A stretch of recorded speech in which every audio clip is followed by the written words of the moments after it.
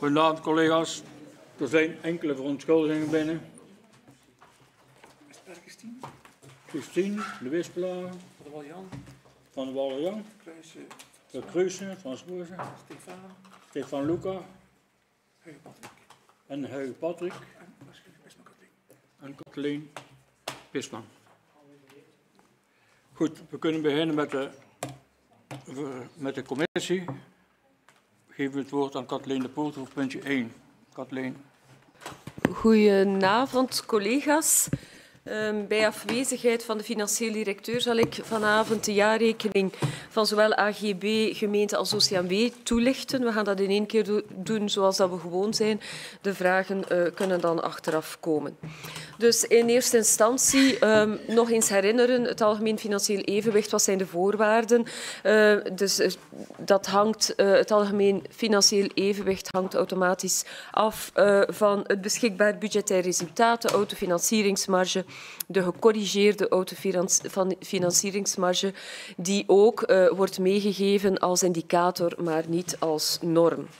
Dan hebben we nog eens, maar jullie hebben het allemaal um, in Cobra ook ontvangen. Um, het uh, beschikbaar budgetair resultaat, wat is dat eigenlijk? Dat is dus de indicator van wat op korte termijn uh, het evenwicht is. De rest kunnen jullie lezen, dat is elk jaar hetzelfde.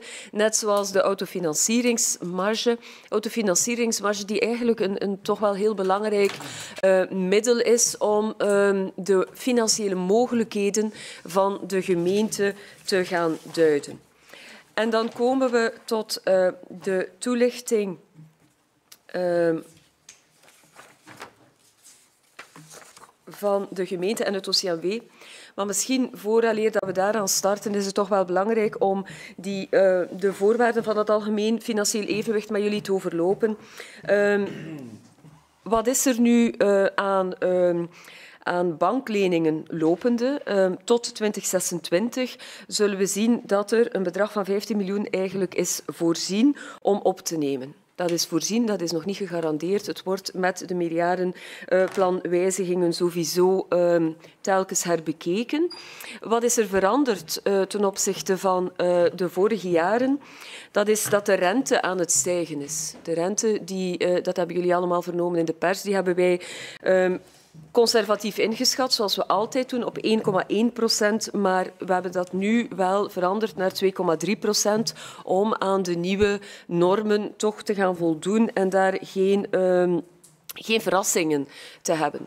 Een uitdaging die in de vorige financiële besprekingen uh, ook is meegenomen en, en aan jullie meegedeeld, dat is de negatieve rente op de spaargelden.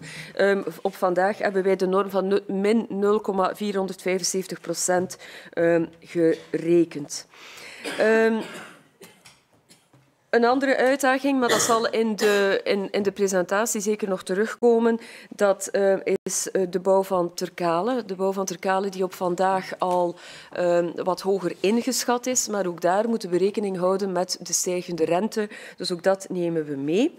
En de pensioenregeling. De pensioenregeling die we al vaker ook met jullie hebben besproken. Dus vroeger zaten de middelen voor de pensioenen van de statutairen en van de mandatarissen in de bestemde gelden. Nu zijn we aan het onderzoeken om uh, voldoende middelen te voorzien voor uh, zowel de pensioenen voor de statutairen als voor de mandatarissen via een, een, een, een fonds uh, bij Belfius. We gaan ervan uit, in de berekening die we gemaakt hebben, dat als we 10 miljoen gaan investeren, dat we daarvan een 400.000 euro voor de pensioenen van de gemeentelijke mandatarissen voorzien, 150.000 euro voor de pensioenen van de OCMW-mandatarissen, de rest voor onze statutaire personeelsleden. En dan houden we rekening met het feit dat er geen statutaire personeelsleden niet meer aangeworven worden uh, tot 2040 en dat, dat in, in de kering, in de balans, de uitgaven die verwacht worden, geeft dat dan 20 miljoen. Dus dat is uh, toch wel iets uh, waar we in de opmaak van, van, van de jaarrekening, maar ook in de opmaking, opmaking van het volledig budgetair plaatje waar we mee bezig zijn, waar we rekening mee gehouden hebben. Um, waar is er ook rekening mee gehouden, en dat zal in de presentatie ook ter sprake komen, dat zijn de overdrachten. Um, er zijn in BBC 2020 geen automatische overdrachten meer van investeringen, maar het komt later aan bod Die zijn wel via het college uh, genomen. Maar wat is dan uh, het gevolg? Dat is dat uh, er op die manier geen middelen meer geblokkeerd staan. Dus dat de middelen die toebediend, of toebedeeld worden, dat die ook echt kunnen gebruikt worden en dat daar geen, geen blokkage is. Dus ehm, op die manier kunnen we beter budgetteren, nauwer budgetteren en kunnen we dat ook um, in onze realisatiegraad terugvinden. Ik denk dat dat een heel belangrijke is. Um, het, het, het, principe van de wijziging van het meerjarenplan en de overdrachten, um, dat, dat moet eigenlijk vandaag niet worden besproken, maar ik zal toch nog eens de, de regels toelichten. Hè. Als we een wijziging van het meerjarenplan gaan invoeren volgens BBC 20, dan moeten we ervoor kunnen zorgen dat die wijziging kan uitgevoerd worden. Dus dat dat ook opnieuw zal onmiddellijk een, een effect geven op de realisatiegraad van de gemeente.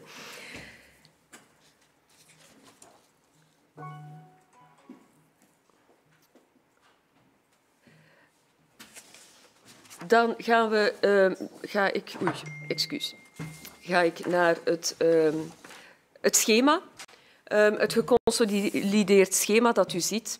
En daar zijn een aantal zaken die, die meteen opvallen. Dat is, uh, als we naar het exploitatiesaldo kijken, de uitgaven, die zijn in de jaarrekening 51 miljoen. Daar waar in het meerjarenplan er 58 miljoen was voorzien.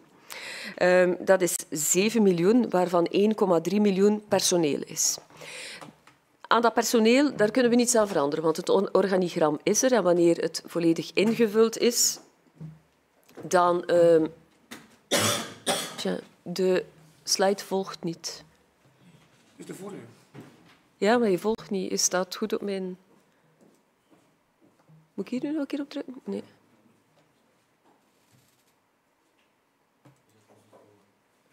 Ja?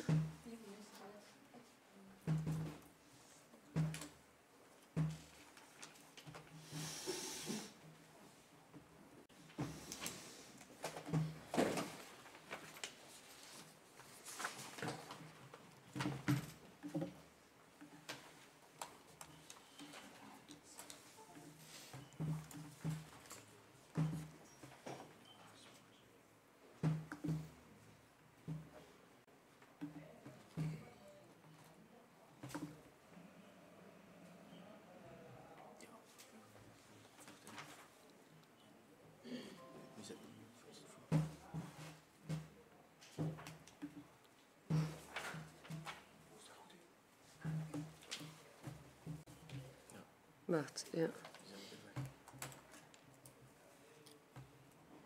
Ja. Ja, het is deze, de eerste. Nee, de vorige. Ja. Blijkbaar een beetje vertraging tussen mijn computer en de...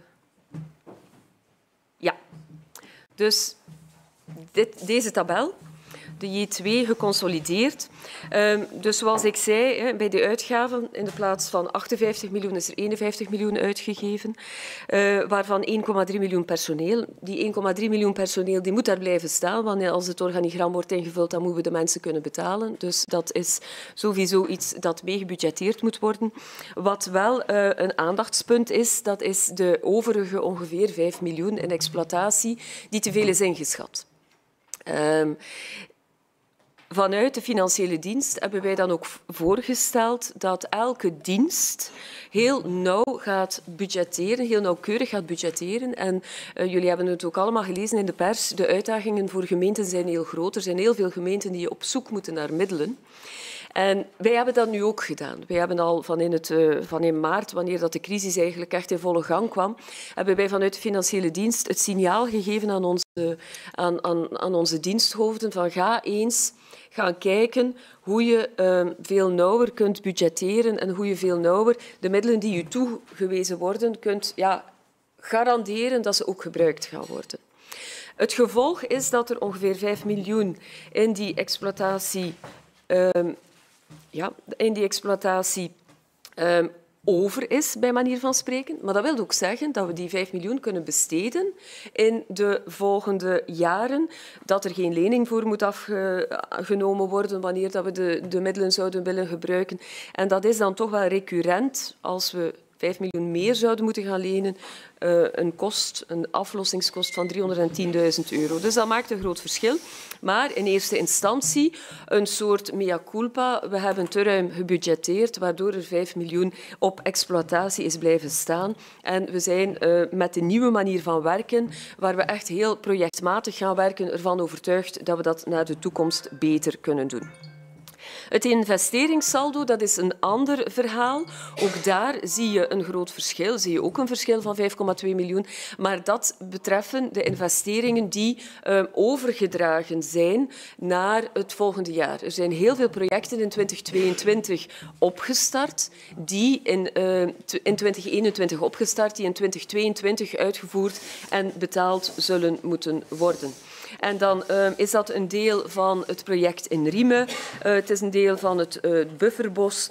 er is 500.000 euro voor de fietssnelweg. Dus het is 3,1 miljoen aan, maar we gaan daar straks nog dieper op in, aan prioritaire acties die zijn overgedragen. Niet-prioritaire acties is 1,9 miljoen en daar is het grootste deel in gebouwen en logistiek uh, voor verantwoordelijk. Als we dan naar de volgende, um, de, de, de volgende slide kijken, dan zien we um, ja, de, de autofinancieringsmarge. Die is uiteraard uh, heel hoog, omdat uh, de, de, de investeringen um, hier niet uh, in meegenomen worden en de, de exploitatiesaldo ook ja, meegerekend wordt. Dus we hebben heel veel marge, maar ik benadruk wel dat die marge in 2022 zal gebruikt worden om de projecten te gaan financieren. De gecorrigeerde autofinancieringsmarge dan, die geeft eigenlijk aan hoe groot dat het autofinancieringsmarge is wanneer er rekening gehouden wordt met de jaarlijkse aflossingen van de financiële schuld en dat ongeacht de financieringsnorm, of dat je nu gaat lenen of dat je eigen middelen gebruikt en dergelijke meer. Nu, als die autofinancieringsmarge uh, kleiner is, de gewone financieringsmarge kleiner is dan de gecorrigeerde autofinancieringsmarge, wat bij ons uh, uh, niet het geval is, dan is er een probleem. In het omgekeerde uh, ben je eigenlijk goed aan het budgetteren. Dus als we kijken naar onze gecorrigeerde autofinancieringsmarge, dan wil dat zeggen dat de zaken die we zullen willen doen, dat we die ook automatisch zullen kunnen uitvoeren in deze legislatuur, zonder dat we daarvoor de volgende legislatuur gaan belasten. Uh, de volgende slide zien we het, uh, ja, het, het, geconsolideerde schema. Wat is er belangrijk? Dat is als je kijkt naar de verschillende schema's die ik toon, uh, geconsolideerd gemeente en OCMW, daar zit een heel klein verschil in ten opzichte van de schema's die wij naar jullie presenteren.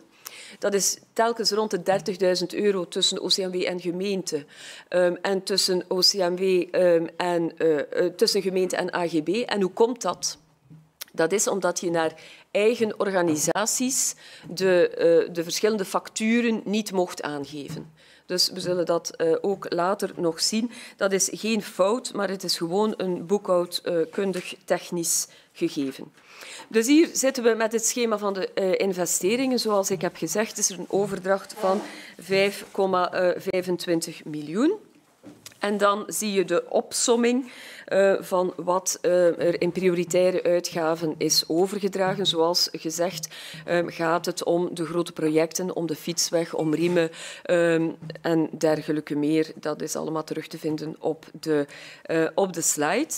Um, je ziet dan, als we de realisatiegraad gaan bekijken uh, van de prioritaire acties, dat we aan 62,01 uh, procent zitten. Dat is een substantiële stijging ten opzichte van de vorige jaren. De 36,96 procent die overgedragen wordt, ook die kunnen we toch ja, vrij gerust budgetteren, want, zoals ik al zei, een overdracht kan pas gebeuren wanneer dat die ook effectief in het volgende jaar zal uitgevoerd en betaald worden. Dus dat is voor wat de uitgaven betreft. Voor wat uh, de reguliere uitgaven betreft, daar zie je uh, de 2,1 miljoen die is overgedragen. Hier hebben we uh, op een andere manier moeten rekenen. We zitten met een realisatiegraad van 53,13 procent en een overdracht van 30,60 procent. En uh, als je dat optelt, dan zul je zien dat je niet aan 100 procent komt van de middelen die niet in, in, reguliere uitgaven zijn, uh, zijn geïnvesteerd. Maar dat is 17 procent die gebudgeteerd was, maar die niet uitgevoerd zal worden in 2022. Dus die kunnen we dan niet overdragen. Die 17 procent die zal in de algemene financiële middelen terechtkomen en wordt dan gebruikt uh, voor uh, echt uh, ja, opdrachten uh, waar het aan toebesteed moet worden. Want dat is nu juist de kracht van BBC, dat uh, effectief er um, ook een toebesteding moet zijn. De jaarrekening zit hier een beetje anders dan in mijn presentatie. Uh, voor het OCMW zien we uh, het regulier gedeelte, uh, zien we de investeringen die ja, geboekt uh, voor ten oude worden, is dat net hetzelfde. Voor Terkale en Ter Hollebeke zijn er wel afwijkingen die meegenomen worden naar volgend jaar, maar dus ook volgend jaar zullen worden uh, uitgevoerd. Dus als we ja, die jaarrekening analyseren, dan zien we effectief dat die realisatiegraad, zoals ik al gezegd heb, sterk verbeterd is. Zeker als we het over prioritaire plannen hebben. Uh, 2,5 miljoen aan overdrachten. Um, en als we uh, naar het, uh, het zwembad uh, gaan kijken, wat toch een, een, heel belangrijk project is voor deze legislatuur, dan zien we dat er een, een PPS-structuur is en die wordt geboekt, zoals we in de toelichting al gezegd hebben in vorige gelegenheden, om exploitatie. Nu, um, ik denk dat het toch wel belangrijk is om te melden dat die gesprekken rond het zwembad voor de gemeente um, echt wel uh, op het juiste moment gebeurd zijn en ook een, een, een, opportuniteit geweest zijn om ervoor te zorgen dat we meer zwemtijd voor onze burgers kunnen uh, creëren, maar ook om het financiële risico rond dat zwembad, zwembad toch wel te gaan beperken. We zitten in heel uitdagende economische tijden. Energiefacturen zijn gigantisch. de afspraken zijn gemaakt. De energiefacturen rond het opwarmen van het, zwemwater bijvoorbeeld, die zullen niet ten koste van de, um, van de gemeente komen. Die zullen in de PPS-structuur uh, zijn meegenomen. Idem dito voor wat het personeel betreft. We hebben al vier indexeringen gehad uh, in het voorbije jaar. Dat is een, een, een heel zware kost uh, voor de gemeente, voor elke gemeente trouwens. Um, en dat, ja, dat zijn risico's die toch... Um, voor uh, de gemeente op die manier zijn uh, verholpen of allee, vooruitziend uh, zijn aangepakt. Zoals ik daarnet al zei, de Terkalen vanuit de financiële dienst willen wij toch wel wijzen op het risico rond verhoogde bouwkosten Dat zal sowieso moeten meegenomen worden. Um, en uh, rond de, de financieringsmechanismen en de rente die zal stijgen. Um, we hebben er, we werken er elke dag aan, we houden er rekening mee, maar we zullen sowieso de vinger aan de pols moeten houden voor wat de budgettering van dat toch wel grote project betreft. Onderwijs is ook een heel groot project, maar daar kunnen we wel stellen dat de meerkost door 70% subsidies zal worden gedragen. Um, en voor wat mobiliteit betreft, Riemen, een ander zeer groot project dat we um, hebben um, in onze gemeente, daar zijn de meeste onkosten um, al betaald of gebudgeteerd. Is er ook al rekening gehouden met het, het ruimen van het asbest dat gevonden is. Dat was ook een substantiële meerkost, maar dat is allemaal meegenomen in de verrekening. Dus als laatste um, komt er in de slide nog eens Terkalen naar voren. Um, maar wij hebben er wel... Absoluut vertrouwen in dat we samen met uh, het zorgbedrijf en de bouwheer ervoor zullen kunnen zorgen dat alles binnen het budget blijft. Uh, maar vanuit de financiële dienst zullen we het zeker, um, ja, zeker um, in, in, in het oog houden. Zeker met ook de uh, extra kosten die zouden kunnen uh, meekomen. Dan hebben we het, uh, de, nog eens de jaarrekening geconsolideerd uh, en zoomen we even in op de ontvangsten uh, van uh, de exploitatie.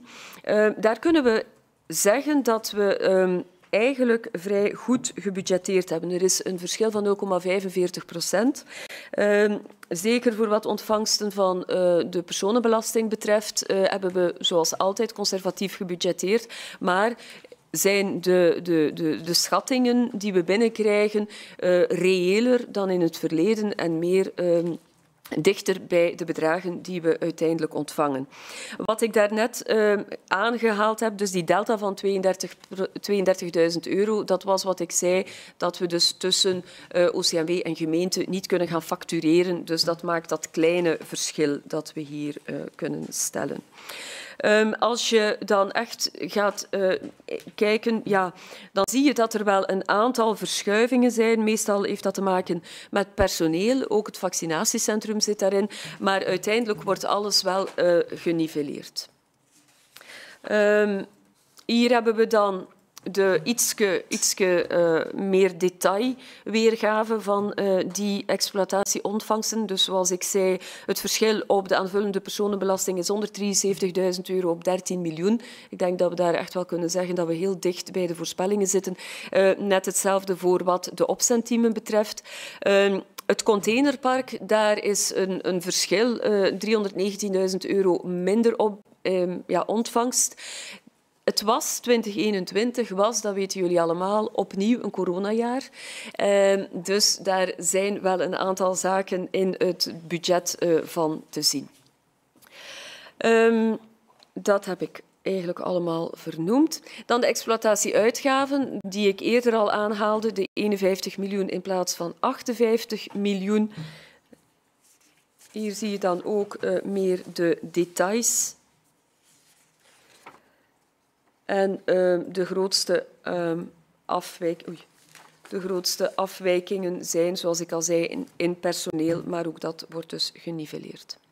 De exploitatieuitgaven dan, dus die afwijking van 7,2 miljoen. Um, de voornaamste afwijking is goederen en diensten. 3,3 miljoen op de gemeente, 350.000 euro op het OCMW. En daar um, is, zoals ik eigenlijk ook al zei, de grootste verschillen zijn te merken op gebouwen, groene ruimte, afvalverwerking, um, ICT en communicatie. ICT heeft natuurlijk ook wel te maken met het feit dat wanneer er minder personeel uh, werkt of aanwezig is, dan is er ook minder ICT-kosten, uh, uh, zit er minder in de cloud en dergelijke meer. Sommige zaken, daar zie je echt wel dat COVID aanwezig geweest is, zeker binnen het AGB, maar daar komen we straks nog op terug. En uh, zoals ik ook al zei, is er binnen de besprekingen die lopende zijn rond de aanpassingen van het meerjarenplan, is er echt extra aandacht op dat budgetteren budgetteren naar mogelijke uitvoering is een absoluut actiepunt voor onze gemeente. De personeelskosten, dus 1,2 miljoen, uh, die uh, verschillen. En dan hebben we ook nog uh, bij het OCMW een aantal een, een, een, een, verschil. En bij de overige uitgaven, waar we de dotatie van de politie mee in rekening houden, minder prijssubsidies voor het AGB en ook minder steun die moest uitbetaald worden. De schulden de resterende schuld um, ja, is 2,5 miljoen euro. Jullie weten allemaal dat we in de vorige legislatuur de schuldgraad echt hebben afgebouwd om de grote projecten die we dit, deze legislatuur willen uitvoeren, om die te kunnen betalen. Um, dus vandaar um, 2,5 miljoen is bijzonder laag, maar jammer genoeg, zou ik zeggen, blijft het niet zo. Natuurlijk krijgen we er de investeringen die nodig zijn voor onze gemeente voor terug. De afwerking, de, uh, de jaarrekening, het, het vaccinatiecentrum. Uh, ja, we zitten in het vaccinatiecentrum nu een beetje op een standstil. En daar uh, zien jullie dat um, we eigenlijk ook hier heel goed gebudgeteerd hebben en uh, alles kunnen betalen met de dotatie van uh, de Vlaamse overheid.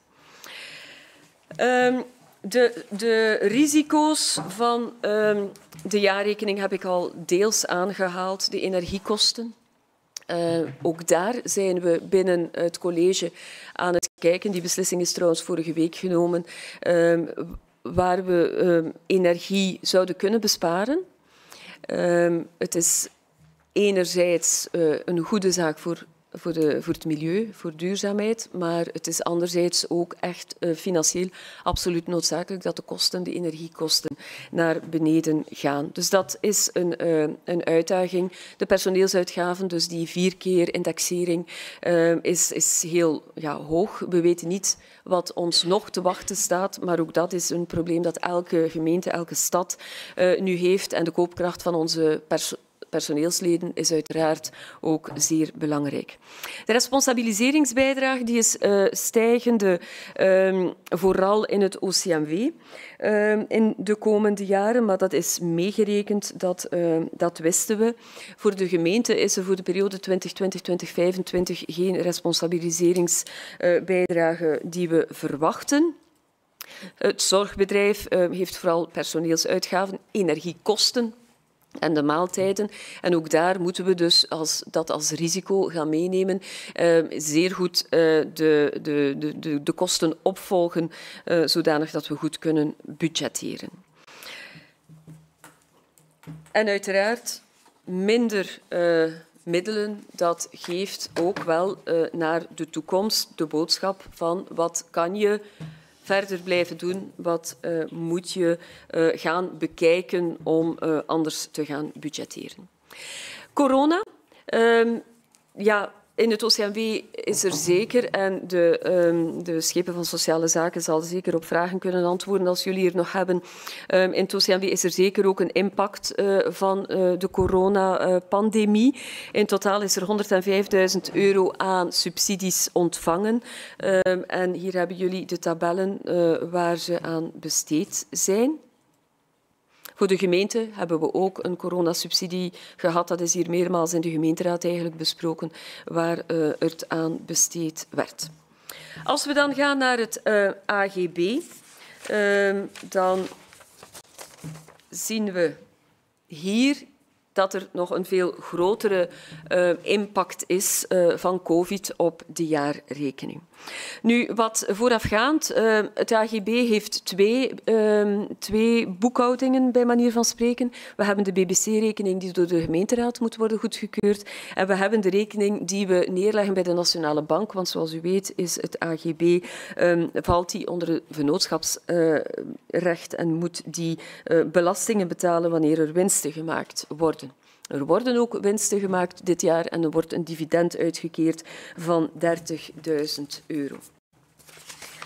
Uh, we hebben allemaal uh, de passage van de bijzondere belastingscontrole meegemaakt. Dus uh, we kunnen wel stellen dat de budgettering op vandaag um, zeker in orde is. Um, we hebben een wettelijke reserve van 129.000 euro aangelegd en dus een dividend van 30.000 euro voorzien. De schulden op lange termijn van het AGB zijn 4,7 miljoen, maar deze schulden bestaan allemaal uit leningen aan de gemeente. De gemeente is de enige aandeelhouder van het AGB en dat maakt ook wel dat het AGB de facto niet in de financiële problemen kan geraken, omdat de aandeelhouder uh, telkens kan bijspringen. De invloed van uh, COVID-19 uh, is vooral te voelen op sport en cultuur. En dat zal je dan ook zien in de, in de effecten. Um, er, is, ja, er, is, er zijn veel minder zalen verhuurd, er is minder aan sport gedaan, er zijn minder tentoons, uh, tentoonstellingen en, en, evenementen geweest, minder podiumkunsten. En vooral ook de cafetaria's, die hebben uh, minder, uh, minder kunnen werken, minder aankopen en ook minder ontvangsten. En dat heeft dan uh, ja, een, een gevolg. Uh, wij gaan in 2021, net zoals we in 2020 gedaan hebben, een COVID-toelage aan het AGB uh, toestaan van 417.000 euro. Uh, vorig jaar was dat 832.000 euro, was dat een, een groter bedrag. Maar dan is, uh, zijn onze, onze verschillende gebouwen ook heel wat uh, langer dicht geweest dan, dan dit jaar. Um, als we dus naar die jaarrekening gaan kijken, dan zien we aan die uitgaven dat er 953.000 de uitgaven voor uh, op exploitatie, dus dat is uh, 1 punt B. In de plaats van 3,3 miljoen is er 2,4 miljoen um, uitgegeven. De investeringen, daar zien we een verschil van 200.000 euro. Daar staan we vanuit de financiële dienst, uh, willen we gewoon zeggen, het is misschien een gemiste kans geweest, want onze gebouwen waren dicht. We moeten ook durven kritisch zijn. En op het moment dat we niet kunnen werken, was er misschien mogelijkheid geweest om bepaalde zaken uh, bij onze gebouwen uit te voeren. Maar dat is uiteraard een gedeelde, uh, uh, een gedeelde verantwoordelijkheid van het college. Um, dus hier hebben we dat, uh, die 200.000 euro, die, uh, die investeringen, waar we dus zien dat er uh, 200.000 euro minder geïnvesteerd is. Er is wel een overdracht van 112.000 euro. Dus ook hier geldt dat een overdracht. Dat wil zeggen dat het in 2020, 2022 wordt uitgevoerd. Als we gaan kijken hier aan de investeringen, dan zie je de verschillen. Die bedragen zijn natuurlijk uh, een pak minder groot dan, uh, dan dan bij de gemeente, maar dat is normaal, want de volledige factuur of de volledige, het volledige budget is ook anders dan bij de gemeente. Aan de exploitatieontvangsten dan zie je heel duidelijk dat dat corona-resultaat, uh, dus 4,2 miljoen in het meerjarenplan, 3,6 miljoen die uh, opgenomen is in de jaarrekening. En daar zien we uh, in de gele vakjes, zie je ja, de opbrengsten uit bar en cafetaria, zowel bij de sport als bij cultuur. Zie je ook die prestaties uit ICT. Uh, de meeste ICT-zaken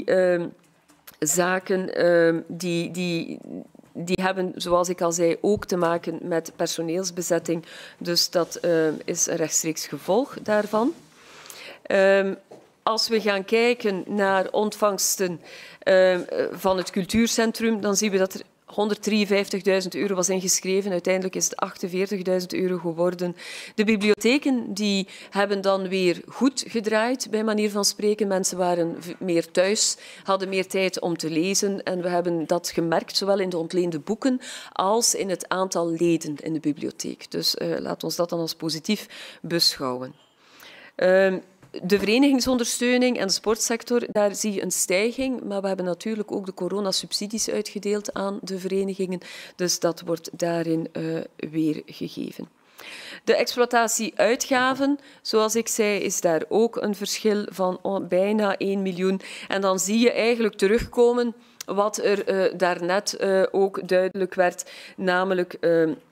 De, uh, de uitgaven bij die diensten die niet hebben kunnen werken zoals ze in een normaal jaar zouden werken. En dat is dan nog eens de, uh, de, de samenvatting die ik eigenlijk ook al aangegeven heb. Uh, de, de samenvatting AGB toont dus een positief boekhoudkundig resultaat van 422.000 euro, dividend 30.000 euro en de coronatoelage 417.000 euro. Dat is conform de regeling van de hogere overheid. Um, en er was ons ook duidelijk meegedeeld dat um, ja, dezelfde reglementering als de reglementering van 2020 kon toegepast worden. Dat um, is zowat de de passage door uh, de 500 bladzijden die jullie in Cobra hebben uh, ontvangen. Uh, voor vragen staat het college uiteraard open. Ja, Eddy. Ja, goedenavond. Bedankt Schepen voor de uiteenzetting. een paar vraagjes. Eén, um, elk jaar is ons beloofd bij het bespreken van de jaarrekening om een overzicht te maken van al de helden die zijn geïnd in het kader van de Groenfonds dat eigenlijk niet meer bestaat, maar u weet wel wat ik bedoel. En ook waarvoor die gelden uh, worden gebruikt. De algemeen uh, financieel directeur had ons dat beloofd. Uh, ik ga ervan uit dat dat ons terug zal bezorgd worden. Of dat dat wel ergens staat in die 500 pagina's, maar dat er misschien mij kan, aangegeven worden waar dat die precies staat. Dan moet ik niet heel de situatie bekijken. Dat is een eerste vraag. Ja. Tweede vraag. Um, u sprak daarnet dus de rente op de leningen verhogen. Uh, u uh, zei ook, bij spaargelden heb je een negatieve rente. Ja. Gaan die ook de hoogte in? Met andere woorden, worden die positief na verloop van tijd of blijven die voorlopig nog negatief? Ja. Um, dan zien we ook dat de uh, uitgaven in de exploitatie dat die um, veel minder zijn, laat mij zo stellen. Um, en dat dat ook voor een deel te maken heeft met minder personeel. Dus dat personeel dat voorzien is, dat dat er niet komt, met als gevolg dat je natuurlijk veel minder uitgeeft dan hetgene dat je oorspronkelijk van plan was, omdat je meer personeel uh, wilde aanwerven. Dus ik begrijp ook dat dat dus iets van een 1,2 miljoen zal zijn, of is. Um, nu, daar is dan toch wel een inhaalbeweging nodig, want uiteindelijk dat personeel dat we voorzien hebben, is dan toch wel personeel dat we nodig hebben voor een goede dienstverlening te geven, want dat is uiteindelijk onze taak. Um, wat ook uh, wel opvalt, dus die 7 miljoen van de exploitatie is echt wel een, een, een cijfer dat, uh, dat bijblijft. En ook bij die realisatiegraad, uh, wat betreft de reguliere werking, 1, 53 procent is ook niet super hoog. Er wordt wel een stuk natuurlijk overgedragen, maar dan nog blijft het eigenlijk vrij laag. En dan had ik u daarnet horen zeggen, maar het kan zijn dat ik dat verkeerd begrepen heb, dat wat betreft de gelden die opzij worden gezet voor de pensioenen voor het personeel, dat uh, er wordt van uitgegaan dat er tegen 2040 geen bijkomende statutaire personeel niet meer bij komt. Is dat een standpunt dat al per definitie vast ligt? En, en waarom is dat zo? Is het de bedoeling van alles contractueel te doen? Of is dat ergens een standpunt dat uh, beredeneerd is? En, en waarom dan? Op welke manier? Uh, en dan, wat ook opvalt is natuurlijk, maar dat is geen verrassing, dat is bij iedereen zo'n beetje, de energiekosten gaan serieus takken, om het zo te stellen. Um, er zijn energieaudits uitgevoerd de afgelopen jaren, dat is mede ook op ons vraag gekomen. Um, is het de bedoeling om die zaken die in die energieaudits staan, om die versneld uit te voeren? Want hoe sneller je natuurlijk zaken isoleert, uh, dat je bespaart, hoe beter natuurlijk voor uw energierekening. En dat is de dag van vandaag misschien wel een zeer belangrijke. Dank u wel. Ja, uh, Eddy, dank u voor uw vragen. Um, de, het overzicht van het Groenfonds, ik heb het hier bij mij, maar het staat ook op pagina 10. Ja, dus er, zit, um, ja, er zijn 1,8 um, miljoen is er uitgegeven. Er staat ook mooi opgelijst um, waar allemaal dat het besteed is. Dus je kunt misschien uh, naar de gemeenteraad toe er nog een keer naar kijken. Wat de rente...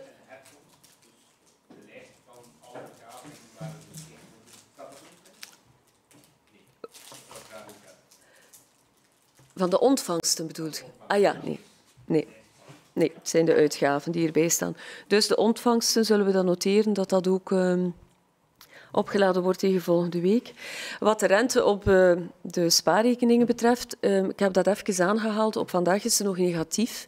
We hebben er ook rekening mee gehouden dat ze nog even negatief blijft.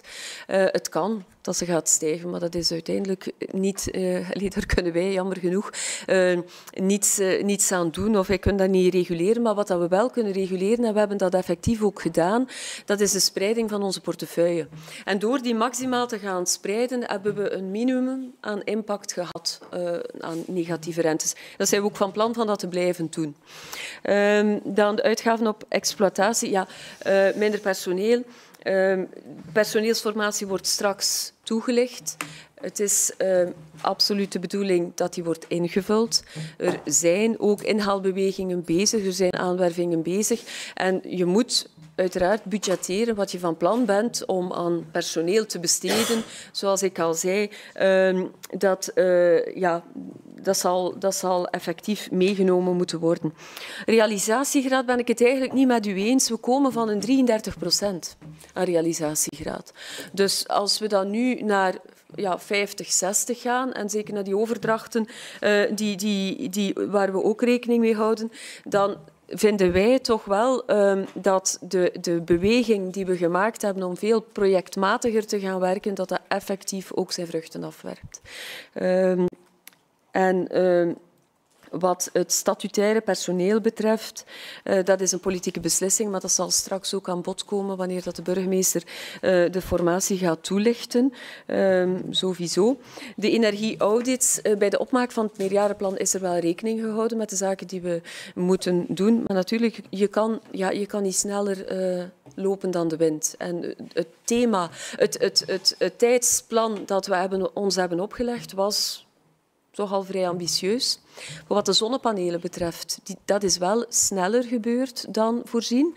Um, en eigenlijk maar goed, hè. Als, we het nu, uh, als we het nu bekijken, kunnen we um, al genieten van, uh, van onze zonnepanelen die we hebben, hebben geïnvesteerd de voorbije, de voorbije jaren.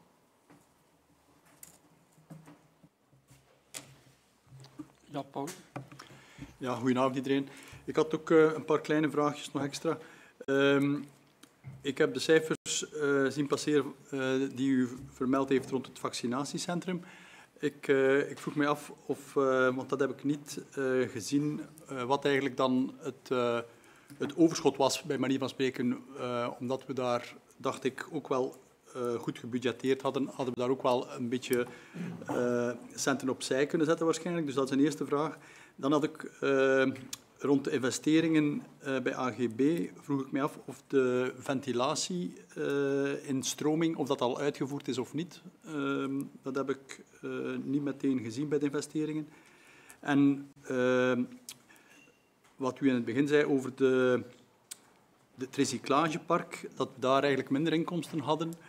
Eh, die 319.000, eh, corona gerelateerd, daar had ik graag wat, eh, wat extra toelichting. Zijn het dan minder bezoekers die geweest zijn? Of wat, wat eigenlijk de reden is van die minder inkomsten?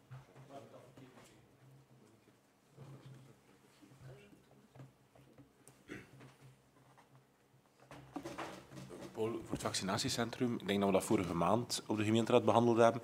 Dus voor de periode van eh 1 februari 21 tot en met april van dit jaar was het 175. En uit het hoofd denk ik dat het ongeveer 38.000 euro was voor dit jaar. Dus ik denk eh, ruim, eh, ruim 130.000, 140.000 euro op eh, over eigenlijk voor de gemeente Everham alleen, voor wat betreft eh, het jaar 2021. Ja. Nog vragen, collega's? Ja.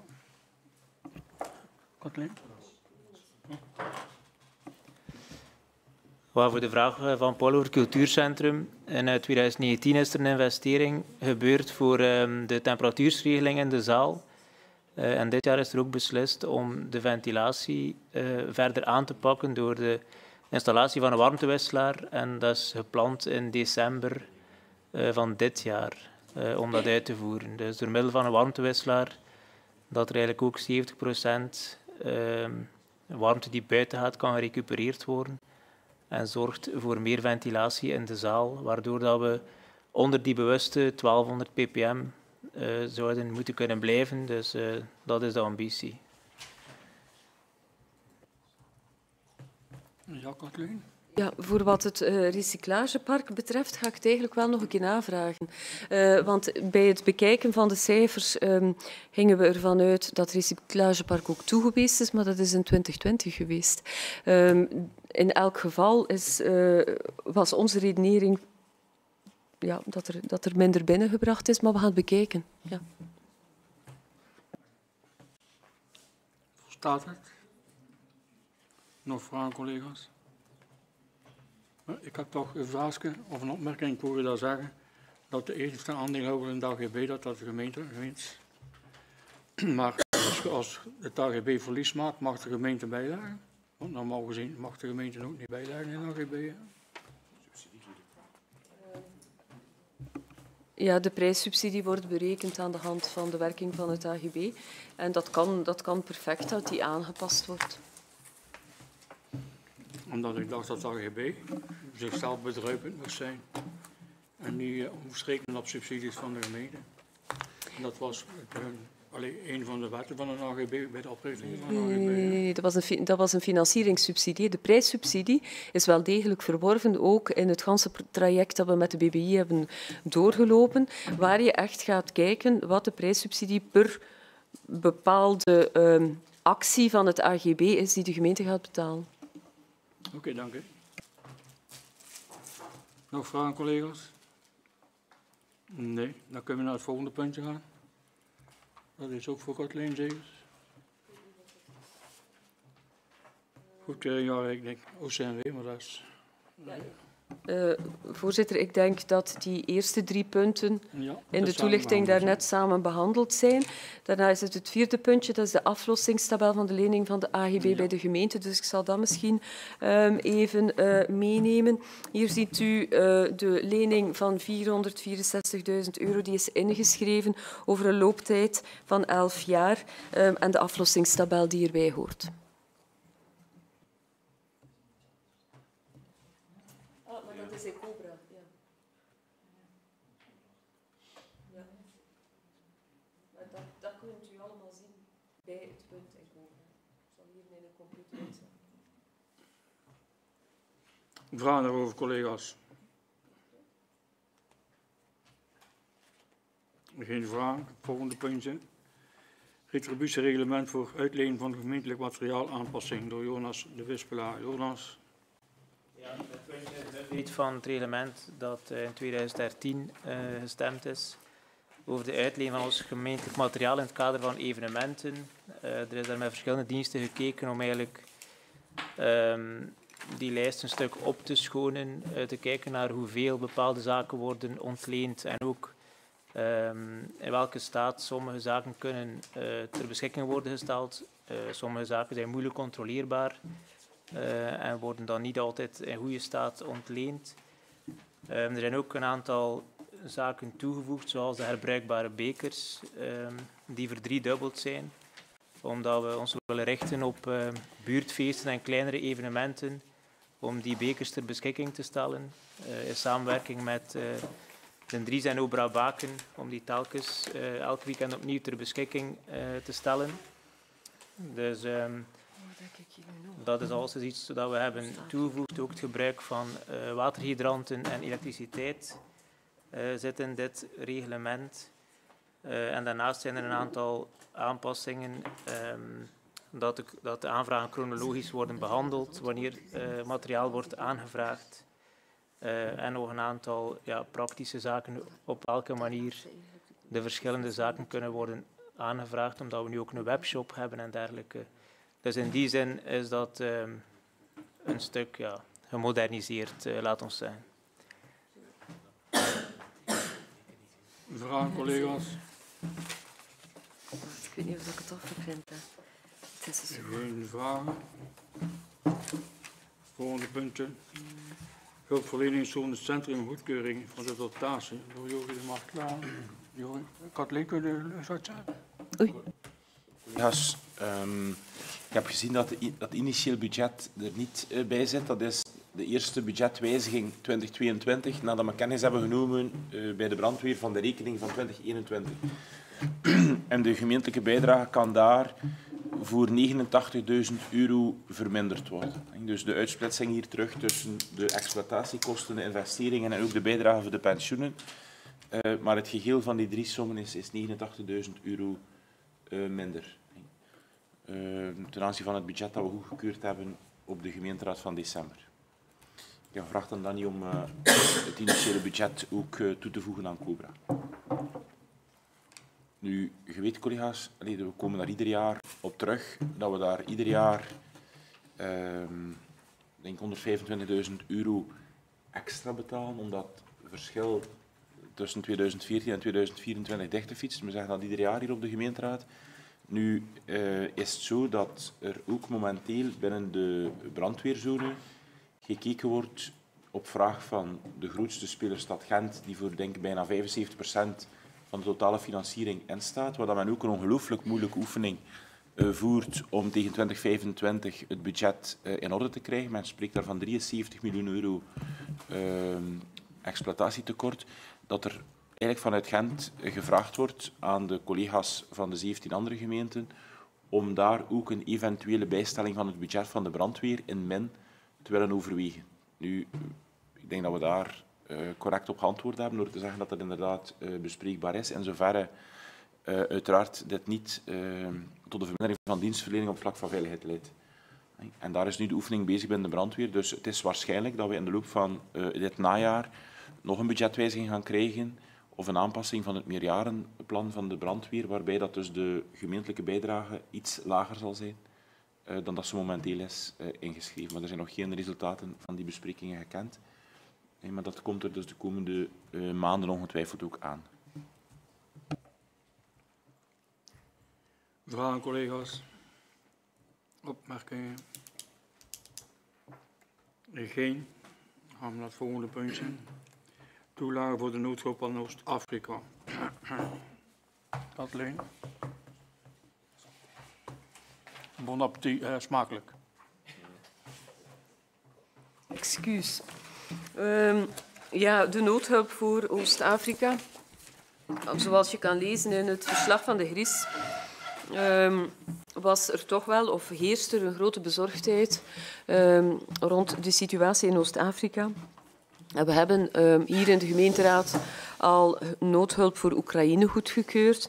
Dat was het voorstel van leden van de GRIS om het andere, de andere helft van het budget dat voorzien is voor noodhulp, dus 1250 euro, te gaan voorzien voor de voedselcrisis in Oost-Afrika.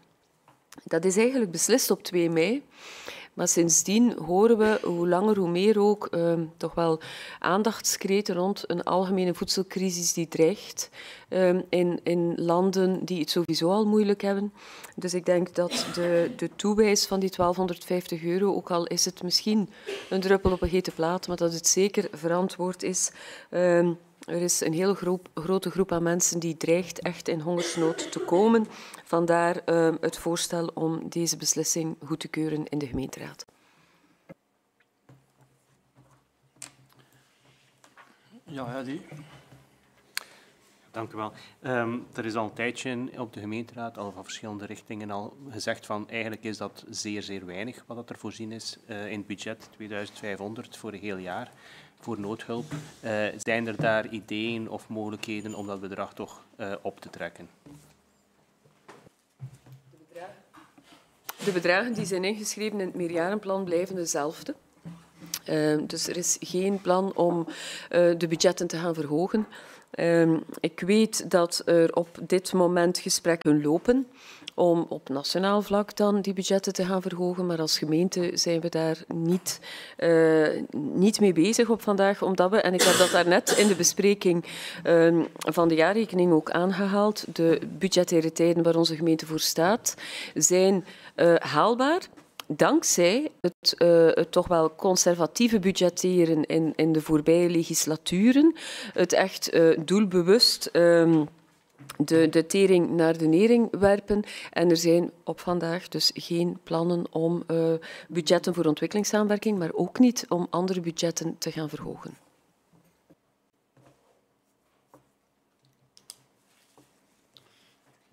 Volstaat het? Oké, dan kunnen we naar het volgende puntje gaan. Rentloze lening. Gero kan je ketels? Je? Goedenavond, collega's. Inderdaad, de rentelooslening van de Giro van Ertvelde staat op de agenda. We hebben sinds de jaren 90 de mogelijkheid om renteloze leningen en investeringstoelagen toch wel goed te keuren. Er is een aanvraag geweest van de Giro van Ertvelde voor 200.000 euro. Alle stukken die gevraagd worden uh, zijn ook geadviseerd, zijn ook bekeken door onze financieel directeur. En in functie van de leningsovereenkomst die opgemaakt wordt voor 20 jaar, voor een bedrag van 200.000 euro, is het een afbetaling van 10.000 euro per jaar die moet betaald worden. En dit zou starten vanaf 2023 en eindigen ten laatste 31 december 2042. Vragen collega's? Martijn. Ja, um, Schipnik, ik zie dat er een, um, de raming, ik ben hier aan, naar de, het dossier aan het kijken, dat de raming 208, nee, dat er dat het bedrag 238.000 euro zou zijn, de kostprijs. Dat klopt? Ja. ja. En ze krijgen dus 200.000 euro renteloze lening. Ja. Maar zijn er nog subsidies? Ik ga ervan uit dat ze ook subsidies krijgen. Hè? Ja, ze krijgen... Allee, die aanvraag, dat staat ook in het dossier. Er zijn nog voor verschillende aspecten, ook bij toerisme, zijn er nog bepaalde subsidies aangevraagd. Er is nog altijd, denk ik, geen uitsluitsel um, van geweten in functie van het volledige dossier. Dus er zullen wellicht nog subsidies ja, erbij maar komen. Maar van ons, van de gemeente, van de, de gemeente is het... Nee, nee, nee. nee, nee. Heb je geen subsidie gekregen? Ik, uh, momentje, ja. Ik, uh, momentje. Ja. Uh, nu tijdens de commissie ga ik antwoorden, maar ja, ja. volgende week ga ik mij in het publiek zetten omdat ik be betrokken partij ben. we hebben inderdaad bij Toerisme Vlaanderen een, een aanvraag lopen waar we eind deze maand antwoord gaan hebben. Nu, dat is ook een, uh, moeilijk uh, dossier, omdat uh, de wetgeving daar veranderd is. Dus we, we, we hebben moeten schakelen met onze aanvragen, omdat... maar dat is een ingewikkeld verhaal, maar normaal gezien gaan we al voor het eerste jaar uitsluitsel hebben eind deze maand. Um, en we hebben natuurlijk ook via de bouwcommissie nog, nog zaken die we, waar, waar we nog gaan beroep op doen in de toekomst. Um, dus... Maar het is ook zo. Nu spreken we over die renteloze lening, Martin, van 200.000 euro. Het is zo dat de Giro beslist heeft, even het totaalaspect. Als je ziet wat er allemaal zal gebeuren, de verwarming, elektriciteit zal aangepakt worden, vernieuwing van de sanitaire blok, de volledige overkapping van de gebouwen. Dat is ook zelf beslist om dat eigenlijk ook gefaseerd te doen in functie van de prijsstijging die nu toch wel op hun wat afkomen, dan te kijken, kijk, wat zijn de mogelijkheden. Vandaar dat ze nu zouden starten met de overkapping tussen de twee gebouwen, um, in functie van die sportzaal of die zaal, evenementenzaal, die zou kunnen gebruikt worden. Vandaar dat die aanvraag is voor die renteloze lening. Bijkomstig hebben ze nog altijd een pot van 55.000 euro, waarbij ze beroep kunnen opdoen voor een tal van zaken.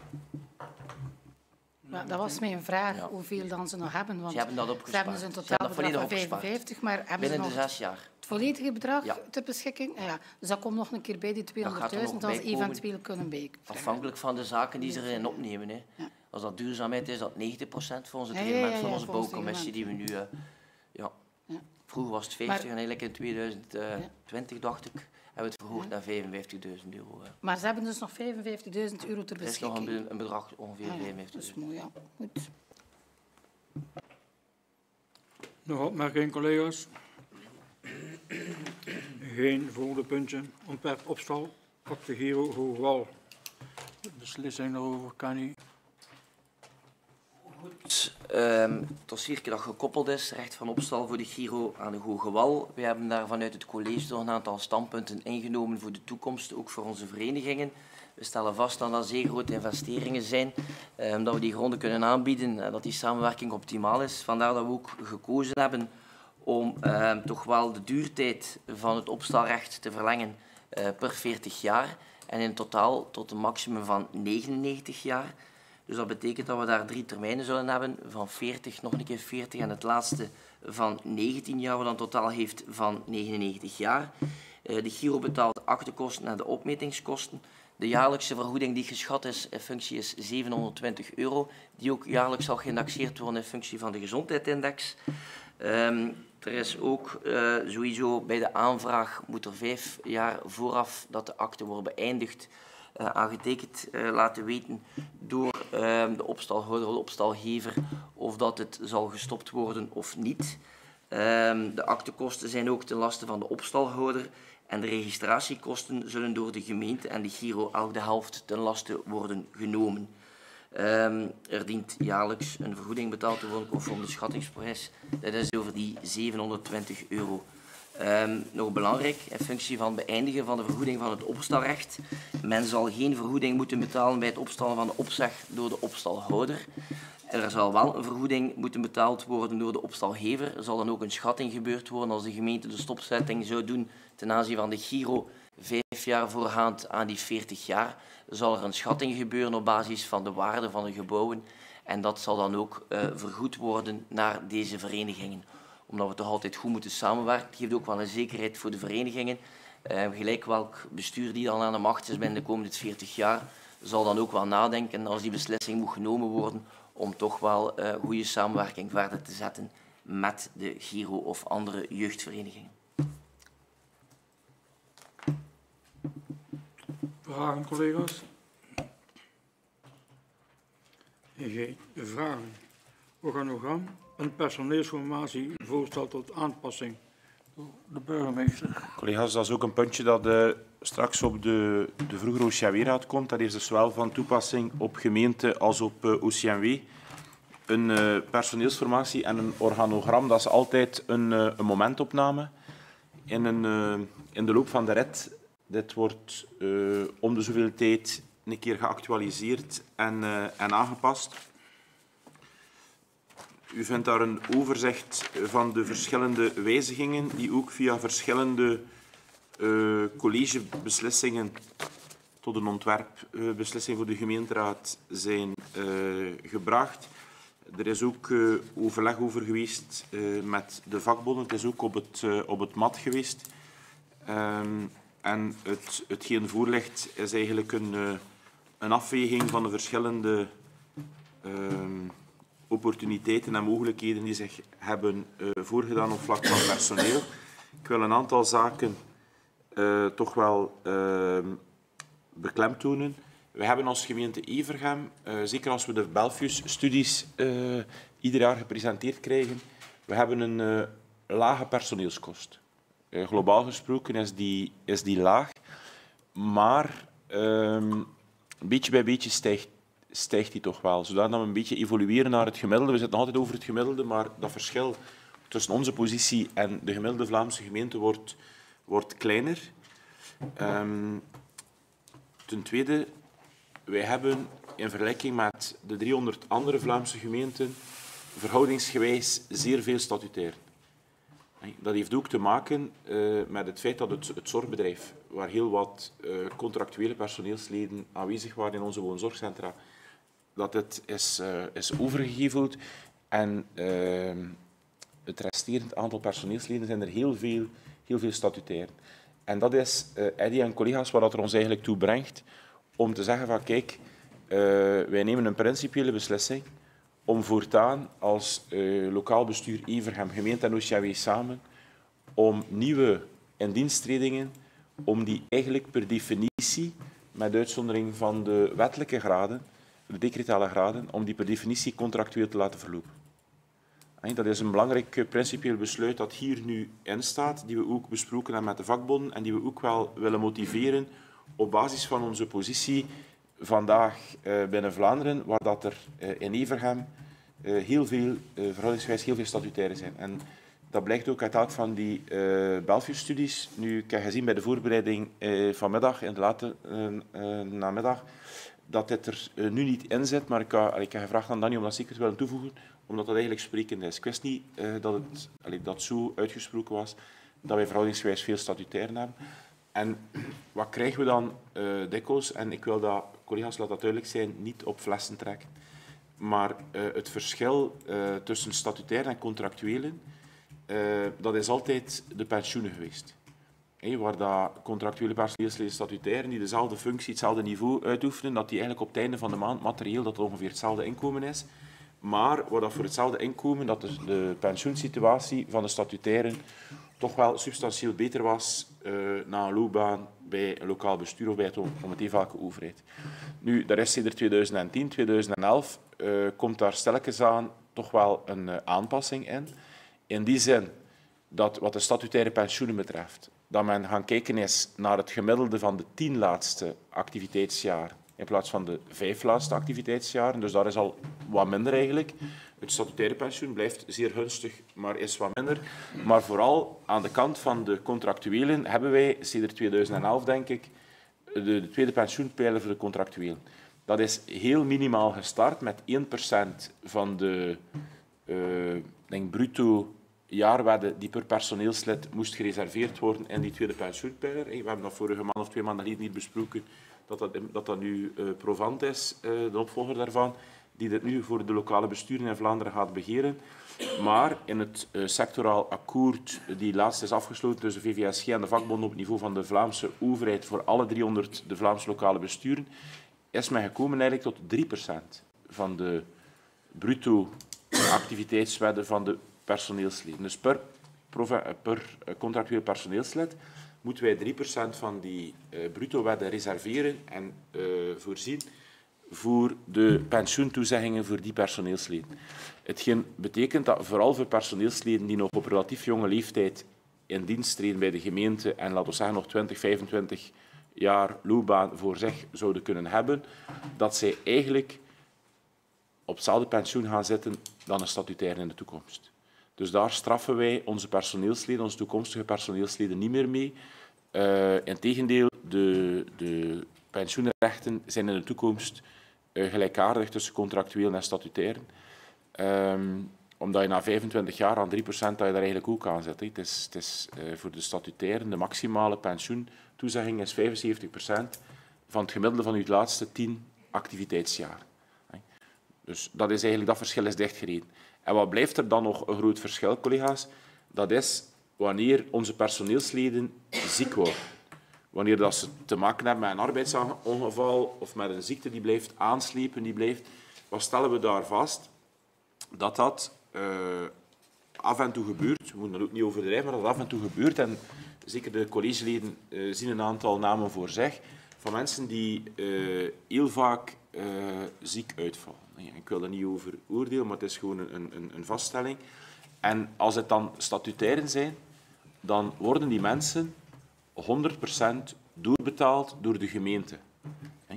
En dan is het toch voor ons dikwijls een moeilijke om dan uh, dubbelop een vervanging te voorzien voor zes maanden, voor een jaar, tijdens de afwezigheid van een, een statutair personeelslid.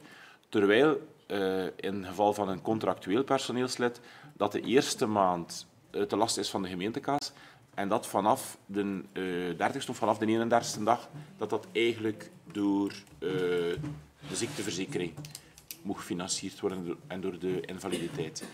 Dat is een belangrijk verschil uh, die ons, in vergelijking met andere gemeenten, omdat we zoveel statutairen hebben, eigenlijk een soort uh, nadeel uh, veroorzaakt in, in vergelijking met andere gemeenten. En dat is eigenlijk de reden, collega's, en we willen dat niet op, allez, in, of in, of in losse gezegden ehm, formuleren, maar waarom dat we eigenlijk principieel kiezen om van iedere nieuwe aanwerving om dat contractueel te doen.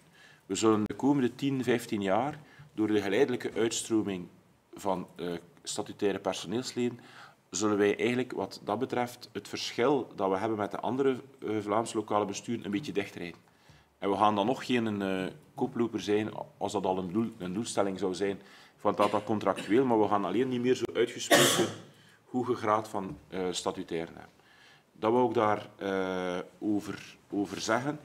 En ten tweede, en dat hebben we al een keer op de gemeenteraad gebracht, dat principe, wanneer dat het ging over het, denk het arbeidsreglement, wat dat we wel voorzien, dat is dat we statutaire personeelsleden die bevorderen, dat we hen niet willen straffen. En, ik denk, die discussie is digitaal een paar maanden geleden of vorig jaar een keer met, met Christine gevoerd. daar zijn we echt een van de eerste gemeenten die dat op die manier eigenlijk voorziet. dat we in ons formatie wel omschrijven dat wanneer een hogere functie door bevordering wordt begeven en het is iemand die van een lager niveau, om het zo te zeggen, komt, dat die persoon zijn statutaire tewerkstelling kan behouden.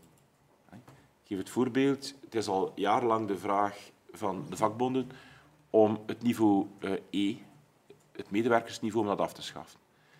Uh, wij zijn daar uh, deze bestuursperiode, dat is al een paar keer besproken ook, in grote mate in meegegaan. Eh, in die zin dat we ehm, de komende maanden dat we negen functies op één niveau, medewerkers, mensen die we nu in huis hebben, dat we die de gelegenheid geven om te bevorderen naar die niveau. Als wij in onze formatie nu zouden voorzien dat iedere nieuwe invulling van een vakmanfunctie contractueel is, dan zouden wij die mensen die momenteel statutair E zijn ongelooflijk ontmoedigen om aan die uh, bevordering deel te nemen, zeker als ze wat ouder zijn en ze niet meer lang contractueel pensioenrecht kunnen opbouwen op, uh, op die niveau. En dat is iets wat is afgetoetst, uh, juridisch ook, ook met ABB. En we kunnen dit inderdaad doen.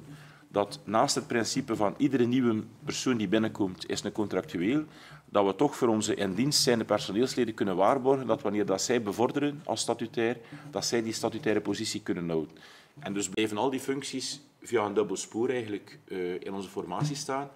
Het zij statutair als dat een statutaire is die bevordert, het zij uh, contractueel als een contractueel is die bevordert, of als het een nieuwe indiensttreding is voor iemand die vandaag nog geen deel uitmaakt van ons gemeentebestuur. Dat is eigenlijk denk ik een heel uh, belangrijk punt. Uh, waar dat ik wel tevreden ben, collega's, dat we ook uh, die, die waarborgen kunnen bieden aan onze in dienst zijnde statutaire personeelsleden. Hetgeen ook wel op het vakbondsoverleg geapprecieerd werd door de vakbond. Dus dat is drie en vier dat ik, dat wou zeggen. wat zegt die personeelsformatie nog? Want die is vrij budgetneutraal. de meerkost van deze personeelsformatie is 39.000 euro. Um, ik wil dat getal onmiddellijk een beetje relativeren, 39.000 euro. Uh, wanneer dat we geen rekening houden met, de, de, eh, met de, de indexaties, de vier indexaties die op korte termijn gebeuren van de, van de ambtenarenwet is. En die toch wel, zowel bij de gemeente als bij, ook bij de politie, een serieuze allez, financiële impact hebben. Nu, bij de politie is er die zin goed nieuws. Dat, dat moet nog naar de raad komen, collega's daar. Dat ik vernomen heb dat er in de, de federale kamer, uh, in de commissie Binnenlandse Zaken, dat daar eigenlijk een compensatie zou gebeuren. En dat er een bijkomende politiedotatie zou gegeven om die 8% verschil van die indexaties om dat dicht te rijden. Dus dat is wel goed nieuws dat wij normaal gezien na de zomer nog via een budgetwijziging zullen kunnen uh, laten gebeuren in de uh, politieraad. En dat natuurlijk ook een gunstig effect heeft voor onze gemeentebudgetten zelf. Het vijfde puntje dat ik over die uh, formatie wil zeggen, is dat die formatie de gelegenheid geeft aan een aantal mensen in de organisatie wiens functie gewogen wordt en als hoger wordt ingeschat dan de mate waarin dat ze vandaag wordt ingeschat, om daar te bevorderen. Ehm, diensthoofd BIP is daarin, diensthoofd jeugd is daarin. de projectmedewerkers, waar dat we nu drie projectmedewerkers hebben op het B-niveau, zal er in de toekomst een projectmedewerker op het A-niveau zijn, één op het B-niveau en één op het C-niveau. Maar er zal dus één van de projectmedewerkers op het A-niveau worden bevorderd. En ook een bevordering van de uh, noodplanningsambtenaar, mogelijk naar een B4, B5, waar het vandaag een B1, uh, B3-functie is. Dan zijn er ook een aantal uh, functies waar dat we die in de toekomst minder zwaar gaan, gaan inschalen. Bijvoorbeeld, u vindt het lijstje in de nota, bijvoorbeeld de, de aankoopdienst waar dat er een herschikking is op de financiële dienst en waar voor de invulling op het, op het C-niveau gaan uh, en een derde persoon op het C-niveau in plaats van op het uh, B1, B3 of zelfs B4, B5 niveau dat dit voorheen was.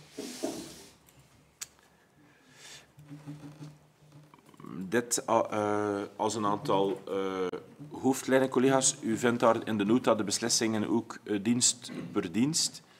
Um, ik ben graag bereid om daar nu of uh, op de gemeenteraad op, uh, op te antwoorden. In algemene zin stellen we ook wel vast, en dat is ook wat we op de burgemeesteroverleggen en op de directeursoverleggen uh, vaststellen, dat is dat, dat het bij de overheid momenteel niet gemakkelijk is om technische profielen te kunnen werven. Als dat bij ons gaat over communicatiefuncties, over administratief medewerkers, is dat geen probleem. Maar technische profielen is, is moeilijk, omdat het ook profielen zijn die gegeerd worden in de privésector en waar dat we dan dikwijls door de beperkingen die wij hebben met het, het statuut, waar dat het gelijkheidsbeginsel zodanig belangrijk is dat je daar weinig kunt in uh, schuiven op maat, dat we dan eigenlijk uh, die race niet aan kunnen. Anderzijds uh, moeten we ook vaststellen dat er sommige mensen de omgekeerde beweging maken en dat we heel recent een diensthoofd van gebouw en logistiek vast benoemd hebben na één jaar stage die vanuit de privé komt en die bij onze organisatie, mag toch wel gezegd worden, collega's, geweldig, geweldig werk levert. En die dus eigenlijk ook een heel uh, grote versterking is voor onze uh, interne organisatie. We stellen ook vast dat som, sommige mensen terugkeren. Hè. Uh, het principe van het één jaar nemen van loopbaanonderbreking, uh, moet zeggen, we vloeken daar soms in het college een keer op. En het was deze week ook uh, bij de brandweer, dat men ook bij de brandweer daar eigenlijk uh, wat mee worstelt en dat men daar het heeft beperkt nu in plaats van tot een jaar, tot zes maanden. Mensen die ergens anders een nieuwe functie uh, opnemen, wij geven nog altijd de gelegenheid om dat één jaar te doen met loopbaanonderbreking, wat dat natuurlijk wel betekent dat wij ze niet definitief kunnen invullen. Dat geeft ons een beetje tijd om iemand dit waarnemen te laten doen en te laten groeien in die functie. Bijvoorbeeld vandaag diensthoofd uh, communicatie is zo'n voorbeeld. Um, beleidsondersteuning uh, was zo'n voorbeeld de voorbije maanden. Um, dat is één voor, voordeel, dat de waarnemer daar wat kan in groeien. Het tweede voordeel is dat je ook die stoel toch nog een beetje vrij houdt. We hebben het nieuws gekregen van iemand binnen BKU dat die uh, zou terugkeren naar onze gemeente. Dus het gras is altijd een beetje groener aan de overkant, maar na één jaar kun je de afweging maken en komen sommige mensen ook wel uh, terug. Um, wat is een van de um, mogelijkheden, denk ik, die wij als lokaal bestuur kunnen aanbieden om toch een aantrekkelijke werkgever uh, te blijven? Ik denk dat iedereen die een keer het verschil uh, meemaakt tussen bij een lokaal bestuur werken op een paar minuten afstand, een paar kilometer afstand van de deur te werk gesteld kunnen zijn of voor een andere of een iets hogere, maar licht gewijzigde functie, daarvoor uh, dagelijks uh, misschien wel wat file en heel wat geen- en weertijd moeten trotseren, dat men dan eigenlijk toch wel vaststaat dat het zoveel uur extra tijd is in een week, die men toch wel ter beschikking heeft en die niet met woon-werkverkeer uh, moet gebeuren. Dus de nabijheid blijft een geweldige troef.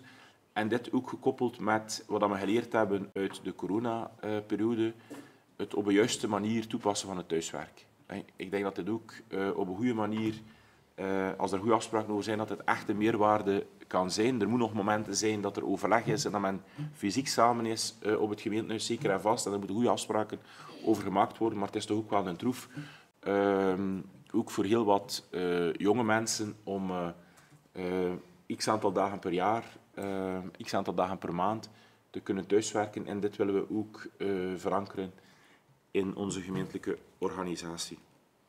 Ik denk dat dit is, uh, allee, op hoofdlijnen collega's, het, is heel wat te beslissen die in die wijziging van de personeelsformatie en de wijziging van het organogram staat. Ja, Eddie. Oké, okay, burgemeester, ik hoor de redenering waarom dat daarvoor gekozen is, voor geen statutaire meer. Uh, waarom is dan dat tot 2040, als ik me niet vergis, uh, opgenomen? Of uh, heb ik dat verkeerd begrepen daarnet?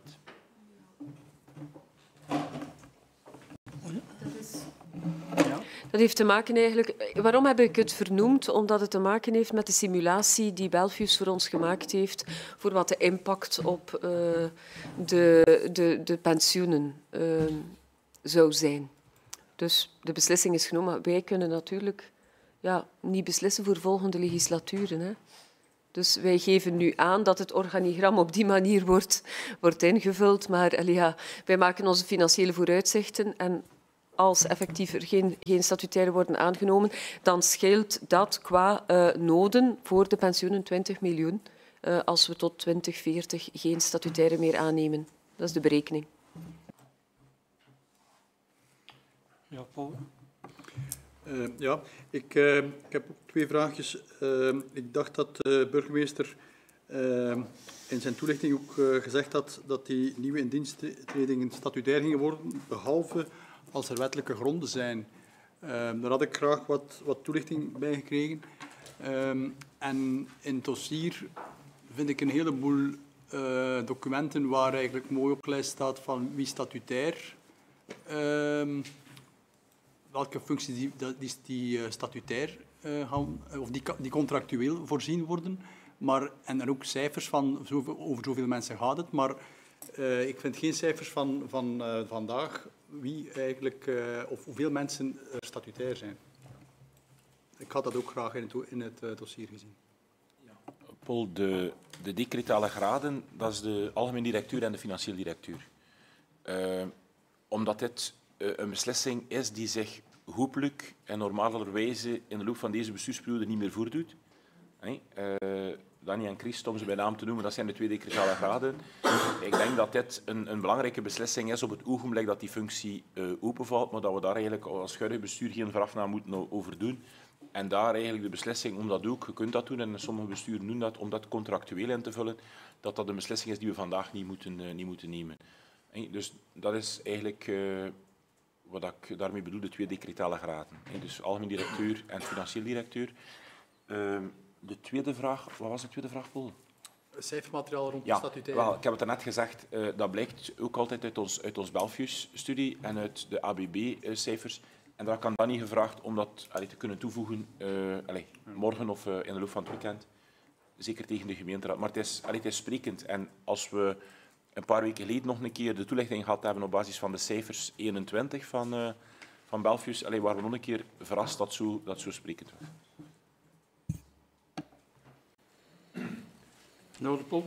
Ja. Nog vragen, collega's? Ja. Filip? Uh, burgemeester, uiteraard. Uh, ik waardeer de onzichtigheid waarmee uh, deze problematiek benaderd wordt. Het is ook heel genuanceerd, uh, het ganse verhaal.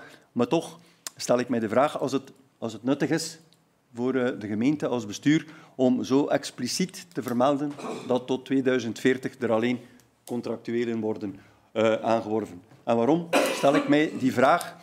Iedereen zal weten in, in de evolutie van het uh, vastbenoemde gemeentepersoneel, overheidspersoneel, dat er voor een aantal mensen toch wel een aantrekkingskracht had. Ik ben akkoord. Er zijn mensen die ja, zich ook nestelden in uh, zo'n statuut. Maar ik denk dat dat voor een aantal mensen een aantrekkingskracht was om inderdaad naar een job te solliciteren bij een overheid, ook bij een gemeente. En twee, iedereen weet, en dat is boven onze hoofden gebeurd, dat er al een aantal jaren toch al stevig gemorreld wordt aan het pensioenstatuut, de, het uitgestelde loon van de ambtenaar. Ja? Want eigenlijk is, is het uh, pensioenstatuut van een overheid, overheidswerknemer niet te vergelijken met iemand uit de privé. Ja? Dat is een uitgesteld loon, daar wordt al jaren aan gemorreld. En ik stel mij de vraag, gezien de huidige arbeidssituatie, dat de, de mensen die nu op de arbeidsmarkt komen niet meer degene zijn van 20 jaar terug, er wordt nu echt wel geshopt, heel kritisch gekeken, dat ons dan niet nog verder, in de moeilijke situatie waar we als overheid nu al zitten, niet nog verder in de problemen brengt om, om de profielen die we zoeken, en gezegd het daarnet, technische profielen. Ja, als je naar de privé gaat, vragen ze u welk type auto dat je wilt. En uh, goed, en van de rest spreek ik nog niet. Dus als wij het niet nog moeilijker gaan krijgen om uh, de gewenste profielen en de kwaliteit, die we toch wel verwachten van iedereen, om uh, die te vinden. Vandaar, ik betwist niet dat er geleidelijk een overgang zal zijn bij alle overheden naar contractueel personeel, maar ik vraag me af als dat daar zo expliciet moet in vermeld worden.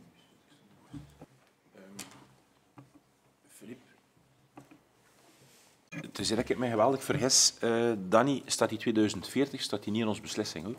Hey, dus dat is een, dat is een, uh, een uh, toelichting van Kathleen, Allee, die me ook, die ook eerlijk gezegd Kathleen ontgaan was, maar dat is gewoon de simulaties die gemaakt zijn.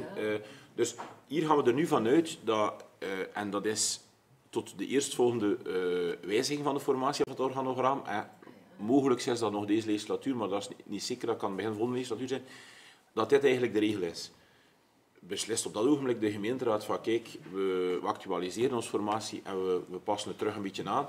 Allee, ik pin mij zeker niet vast op die 2040, uh, Filip.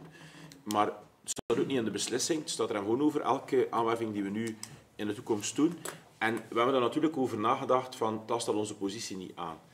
Maar moet ook eerlijk toegeven, telkens als we hier uh, op het college uh, vaststellen dat iemand uh, x aantal weken of x aantal maanden buiten strijd is en dat men nog zoveel ziektedagen heeft, omdat men in het statuut van de ambtenaren eigenlijk per statutair jaar, dat men in principe 23 dagen mag ziek zijn en dat men dat mag accumuleren op het einde van de loopbaan. Allee, dit, dit is ook niet, dit is ook niet oké. En wat er belangrijk is, Filip, dat is dat we die 3% pensioenpijler. Want wat was ongetwijfeld eh, een, een zeer groot verschil, het grootste verschil tussen de contractueel en statutair, dat was op het einde van de rit het pensioen. Dat was een groot verschil. En dat wordt eigenlijk dichtgereden. Omwille van de twee redenen die ik gezegd heb.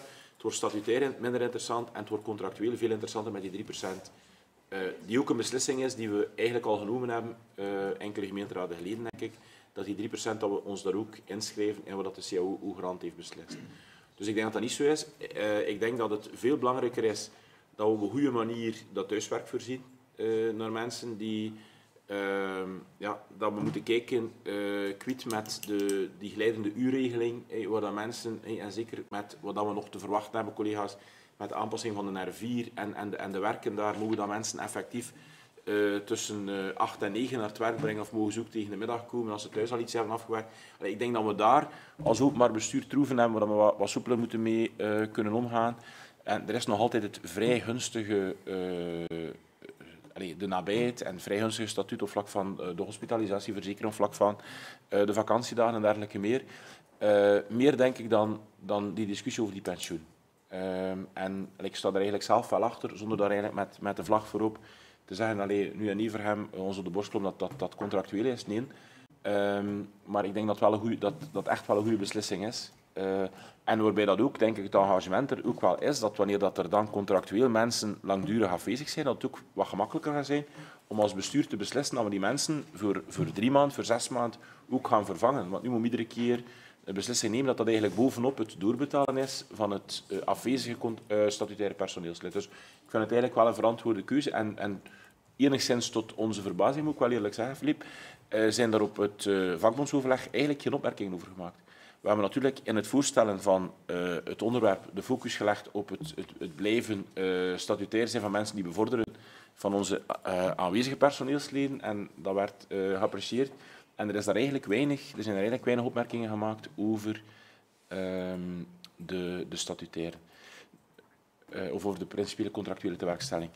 Um, wat dat een klein beetje, of hier zijdelings deel van uitmaakt, dat is Hans die discussie over onze contractuele personeelsleden van uh, de sportdienst en de overgang naar sportoase. Uh, u vindt dat ook in het, uh, in het vakbondsoverleg, het verslag daarvan, waar dat eigenlijk ook uh, zeer goed verloopt samen met de vakbond en met ons personeelsleden. wij hadden daar het engagement van Sportoase om in augustus een keer een dag te organiseren in Antwerpen, het Groot Schijn, wat een geweldig Sportoase-complex is.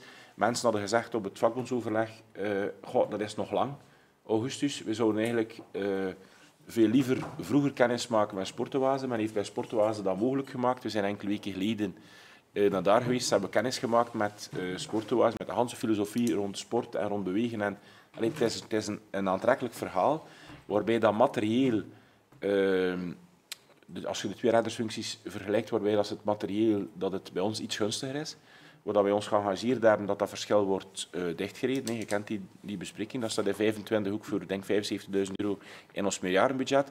Maar waar dat ze ook wel bij Sportoase een aantal andere troeven hebben. Een aantal andere troeven die ook uh, recent uh, bij de politie aan bod zijn gekomen, die al een tijdje bestaan bij de brandweer. Dat is ook dat duurke sport tijdens, tijdens het werk. Dat zelfs kunnen opbouwen van, van, van sporturen buiten het werk, waar je dan ook een zekere compensatie voor krijgt. Hans in de filosofie van sportenwaze, die eigenlijk echt wel iets is, en je bent ook sportminded, die, die echt heel goed aanslaat. Ik denk persoonlijk dat we, ehm, dat is niet iets voor op korte termijn voor dit jaar of voor volgend jaar, maar dat we ook met ons lokaal bestuur en met ons personeelsleden daar, dat we veel meer daar moeten, daar moeten aan denken, dan dat we eigenlijk denken dat we nog jonge mensen kunnen lokken met, met die vaste benoeming en met die pensioenrechten voor, voor later. Maar daar kunnen we... Ja. Ja. Ja, burgemeester, u zei daarnet van eigenlijk de statuten tussen contractueel en statutair komt meer en meer gelijk. Ja? En de reden waarom dat we eigenlijk opteren vanuit de meerderheid om de volgende mensen of alle nieuwe mensen contractueel te maken, is, heeft te maken met de ziekte. Dat is de hoofdreden, als ik het goed begrepen heb. Maar dus dan zit ik mij af te vragen, kun je ons een overzicht bezorgen, dat hoeft daarvoor niet op naam te zijn, hoeveel statutairen dan zoveel ziek zijn, waardoor dat, dat voor de gemeente zo'n enorme factuur is. Want als je op basis van die, dat die beslissing neemt, moet je toch tenminste kunnen aantonen dat dat effectief zo is. Collega's, um, Eddie, ik, uh, ik wil dat doen. Ik wil dat ook met, met Danny bespreken. Maar allee, dan moeten we wel elkaar goed verstaan inderdaad, dat we daar heel discreet mee omgaan. Hè. want dat zijn een aantal namen die regelmatig terugkomen op het college, waar dat er wel een keer over gemopperd wordt. Uh, uh, nee, nee, wel, maar dat we kunnen zeggen, van, kijk, er zijn een aantal, er zijn een aantal functies. Uh, ja, als je dat optelt, gaat dat over uh, een equivalent van, van, van meerdere VTE's. Ja. Ik, had, uh, ik had vragen. Ja, nee, nee, akkoord. akkoord. Ik vind principieel, want dat is een deel van de, motiva een, een, deel van de motivatie dat jullie daar recht op hebben. Ik vraag alleen of dat, dat mogelijk is aan, uh, aan Danny en de personeelsdienst. Ik weet het. Ja, we gaan het, uh, we gaan het alleszins vragen of dat, om dat te anonimiseren en om op die manier... Uh, ja. Ik, uh, als ik mag, misschien aanvullend, misschien kun je ook een vergelijking maken met, met ziektedagen bij contractuelen, zodanig dat, dat het helemaal sprekend is. Ja, probleem, probleem Paul, is dat men bij, bij statutairen dat men, dat men ze mag opbouwen. Hè? En dat men per jaar 23 dagen kan opbouwen. Ik denk dat dat nog 23 is en dat men op die manier kan, kan optaan. Dat is, dat, is een beetje, dat is een beetje het probleem. Nu, wat er ook wel is, uh, Paul en Eddy, eh, een, een, een ander belangrijk verschil is ook nog de zwaarte. En we hebben er in Evergem gelukkig heel weinig mee te maken. Ik zit nu al een tijdje in het college. Er zijn er nog geen tien geweest op die uh, 22 jaar maar ook uh, tucht en, en statuut. Allee, we daar, allee, we moeten daar eigenlijk wel correct met elkaar omgaan. Dat is ook wel een, een afweging. Gelukkig hebben, hebben we het niet. Maar het is heel, heel moeilijk om uh, afscheid te nemen van uh, statutaire personeelsleden die, die echt niet goed functioneren. Maar dat is, niet, allee, dat is op vandaag geen thema in Everham, laat dat duidelijk zijn. En er zijn ook geen, geen mensen die we daarvoor ogen hebben. Maar als dat zich voordoet, is het ook een een belangrijke drempel. Ja. ja. Als ik even mag, Dus dat is effectief wel een gevolg daarvan natuurlijk, dat mensen, contractuelen, minder vaststaan ten opzichte en minder onafhankelijk zijn, laat mij zo stellen, ten opzichte van de politiek, natuurlijk afhankelijk van persoon tot persoon, dan een statutair die vastzit, bij manier van spreken, om het zo te stellen, en die een stuk onafhankelijker zich kan gedragen ten opzichte van de politiek. Dus dat is iets meer dan enkel over die ziektedagen, om het zo te stellen, en de betaling daarvan. Ja, collega's, ik wil ook nog wel meegeven dat uh, wat nu voorgesteld wordt niet geldt voor het uh, onderwijzend personeel. Natuurlijk, dat is een beetje een dualiteit. Hè. Is dat gemeentepersoneel? Is dat uh, dat niet? daar is net de omgekeerde beweging bezig en probeert men zo vlug mogelijk te benoemen. Hè. Ehm, ik wil het toch eventjes meegeven. Ehm, ja, en de vraag is natuurlijk of dit aantrekkelijk genoeg zal blijven, burgemeester, om valabele mensen competente mensen, die blijven, om een aantal voordelen, om die binnen te trekken. Ja.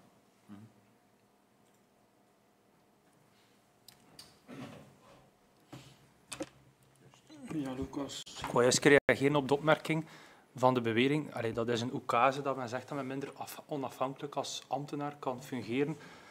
Dat, daar, is een, daar is een tijd ooit zo geweest. Maar de laatste decennia zie je toch wel dat het evaluatie, functioneringsproces toch volledig gedepolitiseerd is, dat dat overgelaten wordt puur aan de ambtenarij, naar evaluatie, opvolging, functionering, feedback. Dus met andere woorden, de politiek heeft bij het sturen van de administratie toch al bij al een vrij beperkte rol. Dus qua die onafhankelijkheid zou ik dat toch mijn korreltje zou nemen. Natuurlijk een uitzondering voor algemeen directeur en financieel directeur, die qua uh, aansturing en evaluatie wel rechtstreeks uh, aangewezen zijn op de politiek. Sorry daarvoor, dan. Maar, uh, ja, wat doet de raad Dus, allee, dus die onafhankelijkheid, dat zou ik toch allee, durven ontkrachten.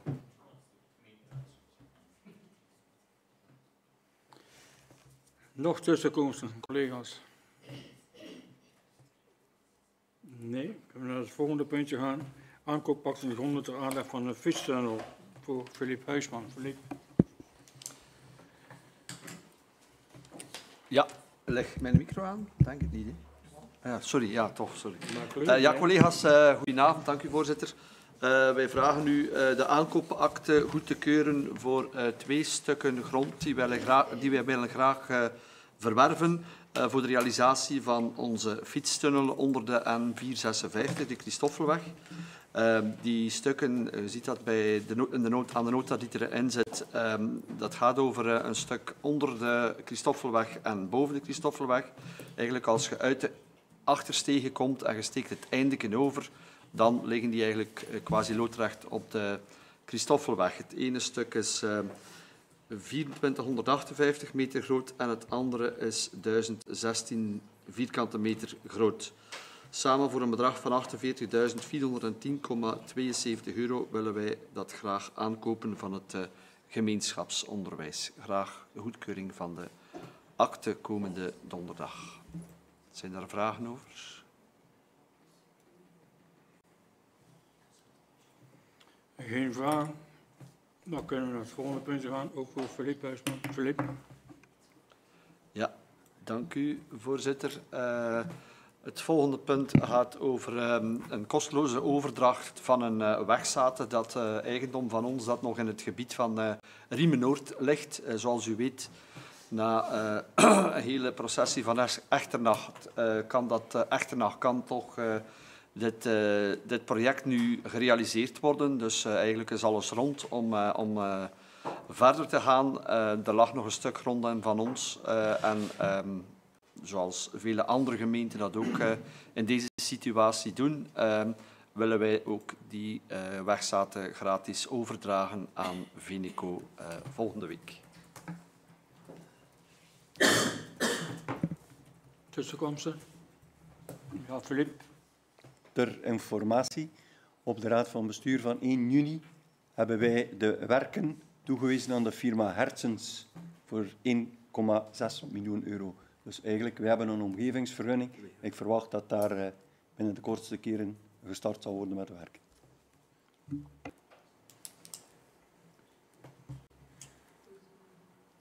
Voor staat het, jongens en meisjes? Geen tussenkomsten meer. Dan gaan we naar rapportering, organisatiebehandeling door Jurie de Martelaar. Jurie. Puntje 13. Rapportering, organisatiebeheersing. Collega's,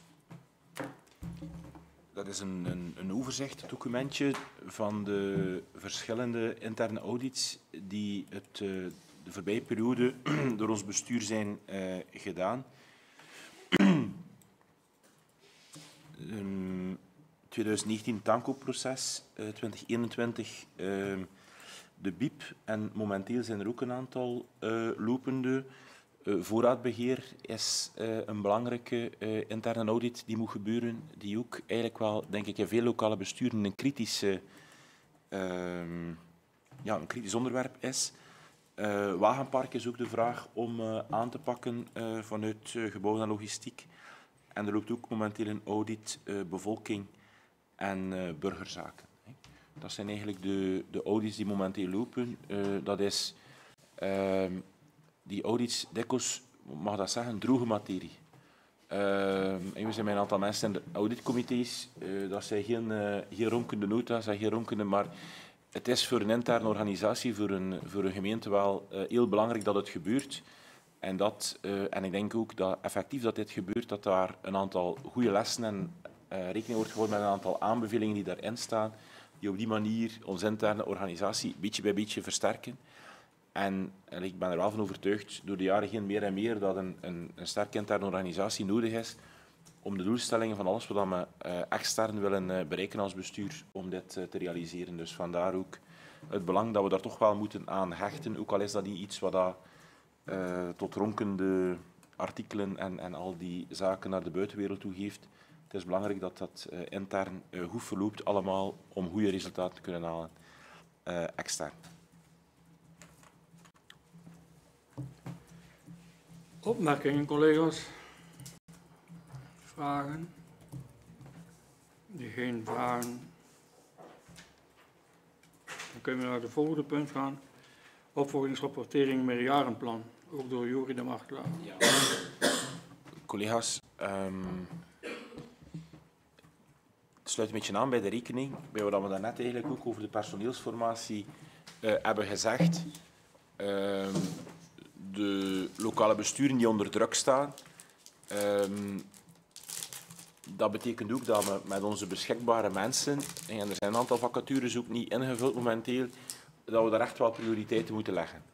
En ik denk dat we het allemaal eens zijn, eh, collega's. We hebben tot voor kort drie of vier keer per jaar die opvolgingsrapportering gedaan. En de laatste keer, denk ik, heeft dat uh, geresulteerd in een, uh, een, een een heel interessante discussie met heel wat vragen die vanuit eh, de Groenfractie zijn gesteld. Um, maar ik denk dat er ook een suggestie was die op dat moment op instemming kon eh, rekenen om dat twee keer per jaar te doen en om dat grondig te doen. In plaats van die drie of die vier keer per jaar dat we tot nu toe eigenlijk van plan waren. En het voorstel hier is om voortaan in de raad van maart dit grondig te doen en in de raad van uh, augustus. En dat de raad van maart dat dan gaat over het eerste over de tweede helft van het voorbije jaar en dat inderdaad van augustus dat dan gaat over de eerste helft van het lopende jaar. Hè. Dus het voorstel is, het zal wel kortdag zijn, eh, algemeen directeur voor onze diensten, om op de gemeenteraad van augustus, waar we iedereen toch nog een beetje uit zijn, uh, uit zijn zomervakantie komt, om op dat moment eigenlijk de evaluatie te doen van januari tot en met juni van dit jaar. Dus dat is eigenlijk het, uh, het voorstel. En om daar dan één of twee keer een evaluatiemoment per jaar laten bij inschieten. Maar als dat grondig gebeurt, gaat dat de laatste keer is uh, gebeurd, is dat wel een belangrijk moment. Uh, maar het is relatief veel uh, administratie, relatief veel papierwerk voor onze diensten, om dat iedere keer drie of vier keer per jaar tegen de gemeenteraad te krijgen. Ik ben ervan overtuigd dat het geen kwaliteitsverlies is als we dit tot twee keer beperken, op voorhand dat we dat dan twee keer goed doen, en dat dit toch een klein beetje administratieve overlast ehm, of administratieve vereenvoudiging voor onze diensten betekent.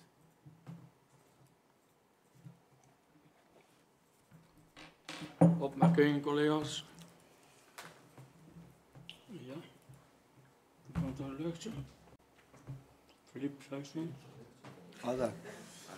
Ik ga mij laten. Dank u. Dat is nog van sorry. Aanpassing arbeidsreglement voor de scholen en de scholengemeenschap. Gemeentelijk onderwijs voor Kenny Ketels. Goed, collega's, inderdaad de aanpassing van het arbeidsreglement. Ik heb de grote lijnen er een beetje uithalen in functie van het advies dat we ook laten opmaken hebben door OVSG. Zijn er een aantal samen het, de uren die ze gekregen hebben in functie van de afvaardiging van vakbond in onze gemeentelijke scholen. De eerste hulp EHBO die er nu in opgenomen is, de gegevens van vertrouwenspersoon, die aanpassingen van de preventieadviseur, Um, ook de plaatsen in functie waar het uh, materiaal gevestigd is per school, die moet aangegeven worden. De functiebeschrijvingen die ook moeten volledig uitgeschreven worden. Op die basis hebben we ook ons volledig arbeidsreglement aangepast. En dit ligt nu ter goedkeuring voor. Opmerkingen, collega's?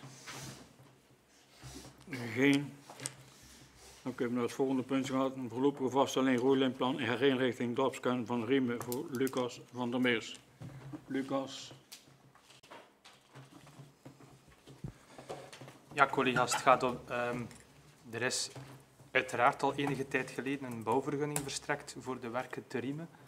Maar er is gezien dat er toch um, de situatie van de werken zoals ze uitgevoerd zijn, aan het volledig openbaar domein, op een aantal kleine punten is dienen te worden bijgestuurd. En vandaar dat ook de rooilijnprocedure, dus de grens tussen het openbaar en een privatief domein, ook in die zin wordt aangepast aan uh, de werkelijke situatie.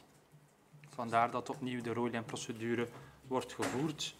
Um, ook met als doel om de twee, drie situaties waar wij um, denk vooral voetpadenstructuur hebben aangelegd, om dan ook, dat zal allemaal in minderlijk overleg gaan, om ook de nodige restpercelen te kunnen verwerven. Zoals dat eigenlijk de eigendomsstructuur uh, van het openbaar domein zowel juridisch als praktisch met elkaar in overeenstemming zal worden gebracht. Zijn daar vragen over?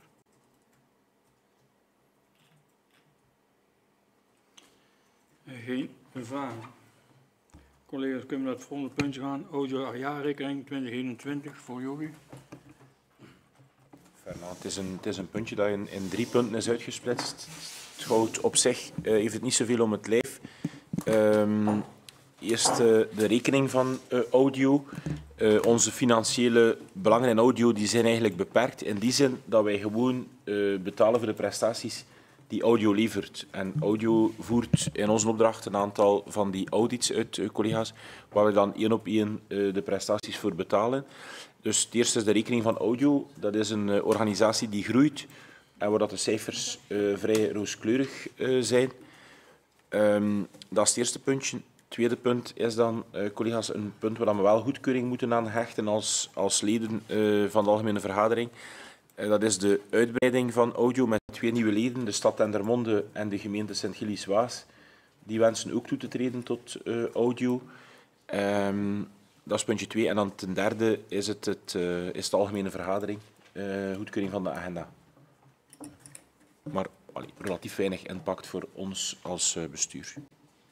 Opmerkingen erover, collega's? Geen. Dan gaan we over tot de vragen van gemeenteraadslid Annie Hoetels. De stand van zaken van de doos, van de hele doos. Annie. Annie, uw lampje laten branden. Uh, we hebben dus een tijdje terug een werkgroep gehad omtrent de hele doos. Maar ik had het graag toch wel teruggekoppeld gezien hier op de gemeenteraad. Um, zodat iedereen eigenlijk van uh, alle gemeenteraadsleden op de hoogte zijn. Wie antwoordt erop? Kathleen? Ja, dank u uh, Annie voor uw vraag. Uh, er is inderdaad een werkgroep samengekomen Ehm, deze werkgroep heeft de stand van zaken besproken rond de gele doos, maar ook de bemerkingen die gegeven waren van de eerste lijnzone ehm, rond eh, de gele doos, de bemerkingen rond ja, het feit dat het allemaal up-to-date moet zijn, ehm, dat het ook in samenwerking moet zijn met de apothekers bijvoorbeeld, met de thuisverpleegkundigen die akkoord zijn om de gele doos te gaan ophalen. Dus je, was erbij, alle alle fracties waren aanwezig. Dus ik denk dat uh, de verdere uitleg niet echt zeer uh, omslachtig moet zijn. Wat is de beslissing die genomen is? Dat is dat er toch nog eens teruggekoppeld zou worden naar de eerste lijnszone. Uh, maar dat sowieso onze gemeente de, eerste, de gele doos gaat voorzien of uitrollen. De uitdeling van de gele doos gaat uitrollen voor januari volgend jaar. Waar staat het dan nu? Oké. Okay. Dan zijn de punten van de commissie afgesloten. Een rondvraag. Zijn er nog vragen, collega's? Van u rond. Annie, ja. Annie. Laat u het een, een tweede punt op de agenda. Momentje. Ja. Ja, ik had eigenlijk nog een tweede punt op de agenda laten zetten. Dat was uh, het uitrollen van, allez, het bekendmaken voor de Europese handicapkaart. Maar ik zie dat punt niet op de agenda. Ah, het zit bij dossier Ah, dat is goed dan. Hm? Het zit bij dossier Ja. Dat je zo goed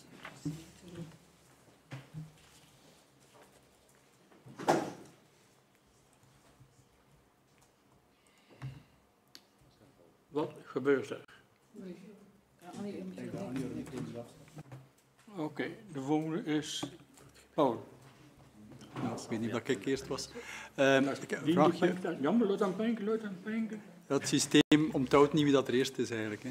Maar, um, een vraagje voor, uh, voor Lucas. In verband met uh, aangekondigde werken aan de Vaartstraat West. Ik heb begrepen dat dat met het vaccinatiecentrum dat langer operationeel is, dat dat de reden zou zijn waarom dat, dat uitgesteld is. Maar ik wou dat toch nog even formeel vragen van wanneer staat dat op de planning en is dat inderdaad de reden dat er nog niet, begonnen is aan die werken? Het is uh, een van de redenen, maar de waarheid is natuurlijk dat het conceptueel zo geen eenvoudig dossier was. Het is ook een dossier dat, dat uh, onze diensten verkozen hebben om zelf intern te trekken en dat daar eigenlijk uh, dat soort zaken waar dat we minder externe uh, ontwerpers aanzetten, dat er dus ook niet altijd evenveel mankracht is om het dossier even snel uh, vooruit te halen. Maar het klopt eigenlijk puur om praktische redenen dat we er ook voor gekozen hebben, sowieso, uh, om zolang dat het vaccinatiecentrum operationeel was, om het niet te starten. Maar natuurlijk, we kunnen ook niet blijven wachten.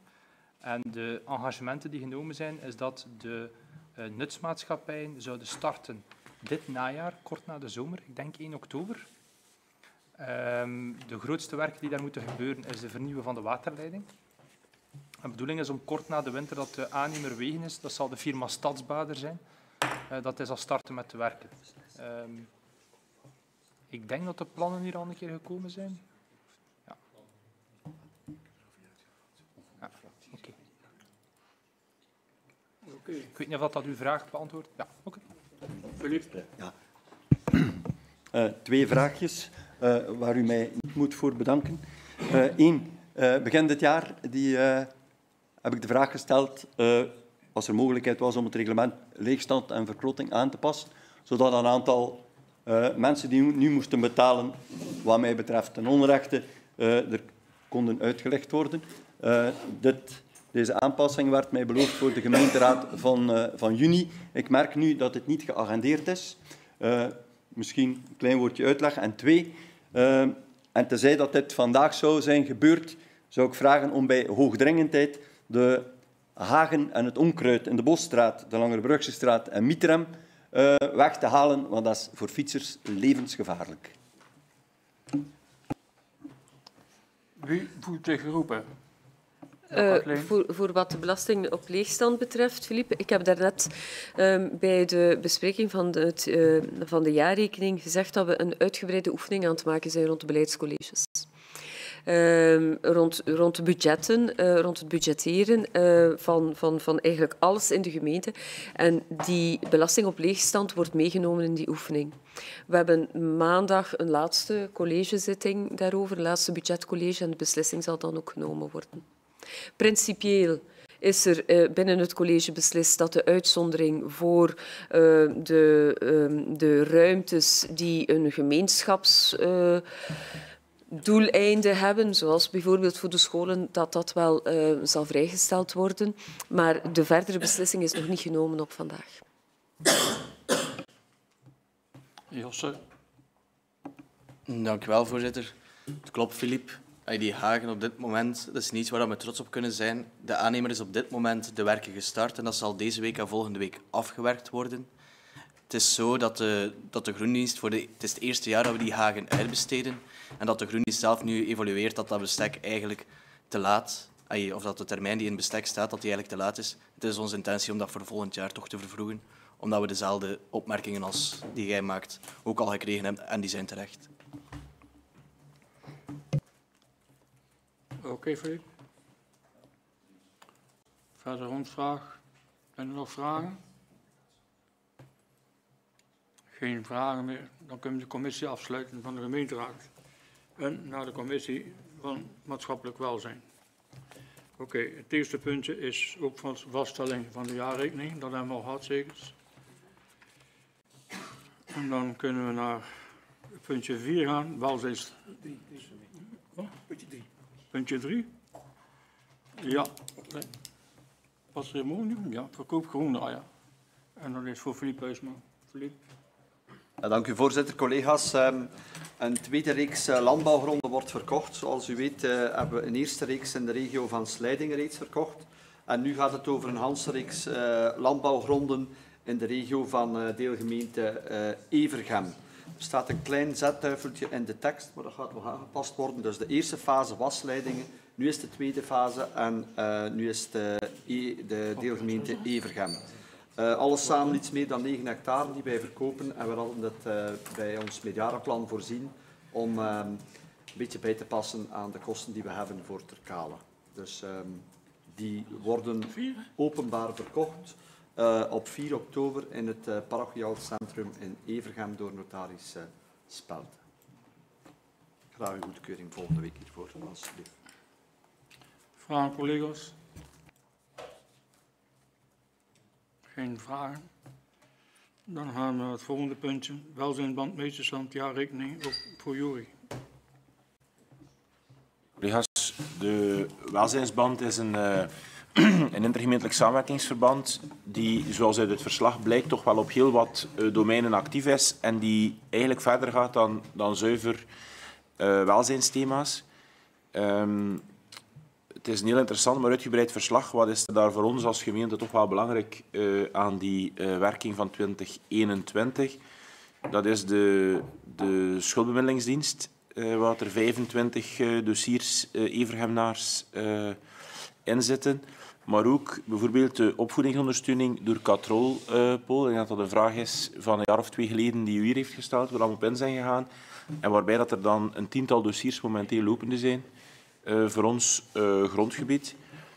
Er is ook een krediet voorzien organisatie, beheersing en interne audit, waar dat wij in principe ook prestaties kunnen afnemen van de welzijnsband, waar dat we daar in 2021 niet voor gekozen hebben, waar dat wij onze opdrachten via audio hebben uh, laten verlopen, hebben we dan nog met een krediet staan.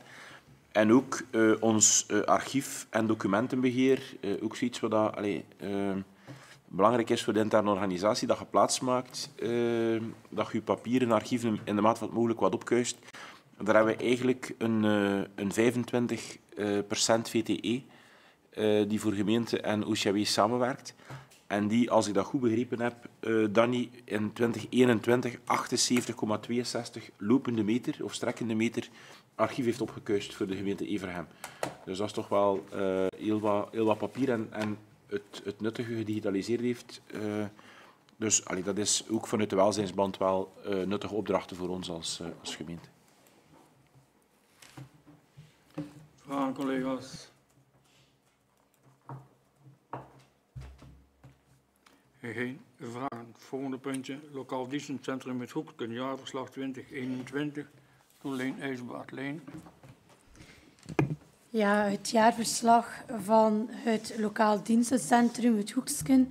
Nu, het woonzorgdecreet 2020 um, heeft beslist dat er ook driejaarlijks een buurtanalyse moet opgemaakt worden. Deze zit ook in Cobra opgeladen. Um, in vanuit de buurtanalyse is dan de bedoeling dat we de werking van het lokaal dienstencentrum kunnen ook een deel evalueren en onze doelgroep kunnen bereiken. Nu, we zien uit um, de buurtanalyse dat er dus uh, de vergrijzing is, waarbij dan de mensen eigenlijk langer thuis wonen en dan er betere gezondheidsvoorzieningen zijn. Maar wat dat ook um, de gevaren zijn van de digitale kloof dat er komt uh, voor veel ouderen, vereenzaming, ook het coronavirus heeft daar um, een groot belang, um, minder uh, sociale cohesie. Um, en ook uh, het aantal stijgende mantelzorgpremies, omdat er heel veel maatschappelijke zorg is voor de, de mantelzorgers die veel meer moeten optreden dan vroeger, aangezien dan de 80-plussers langer thuis blijven. Uh, we zien dat ook in de werking van het lokaal dienstencentrum. dat waren ook twee moeilijke coronajaren, waarbij dat het dienstencentrum eigenlijk zijn best heeft gedaan um, om zoveel mogelijk bereikbaar te zijn voor de mensen in eenzaamheid in de coronaperiode. Uh, en dat kunnen we ook zien. Zij hebben vooral enorm veel ingezet op vrijwilligers. Um, en aan het bereiken van de senioren en de vereenzaamde mensen uh, in onze gemeente. Dus uh, we kunnen dat zien. Wat dat betreft de digitale kloof is het ook zo dat wij inzetten op um, bijscholingen of um, bijscholingen of vormingen in verband met digitalisering voor ouderen. Dus voor te leren werken met een iPad, uh, met digitaal bankieren en allerhande toestanden. Ook um, is het, de externe dienstverlening, de kapster, de pedicure, allemaal terug volledig uh, opgestart. Nu, de minder mobiele centrale zien we ook dat een hele opmars heeft gemaakt, ook um, na de coronaperiode, uh, die enorm veel aanvraag krijgen. Ook de babbelbus, die volledig is ingezet tijdens de werking van het vaccinatiecentrum en heel veel ritten heeft maar nu ook terug zijn reguliere werking heeft opgenomen. Dus die eigenlijk wel goed uh, bevraagd is. Waar we vroeger daar uh, moeilijk aan vrijwilligers geraakten, is dat eigenlijk wel een lichtpuntje geweest aan de corona. Dan er heel veel mensen er als vrijwilliger hebben opgegeven voor naar de vaccinatietent te rijden met mensen en die dat eigenlijk willen blijven doen. Dus ik denk dat dat een positieve evolutie is en hopen dat de werking hem volledig kan herstellen. Uh, in de loop van 2022, zoals we gedaan hebben in 2021. Nu, wat we ook ingezet hebben um, toen, is de telefoonster voor de eenzame mensen. Uh, ook uh, enkelen onder ons hier zijn in de coronaperiode vanaf 65 plus opgebouwd geweest door vrijwilligers om te vragen of er vereenzaming is. En um, ik moet zeggen, er zijn heel wat senioren die daar eigenlijk toch wel een boodschap aan hebben. Dus daar wordt er ook op ingezet met nieuwe vrijwilligers om deze werking te onderhouden bij senioren die het nodig hebben. Ik weet niet als er anders nog vragen zijn.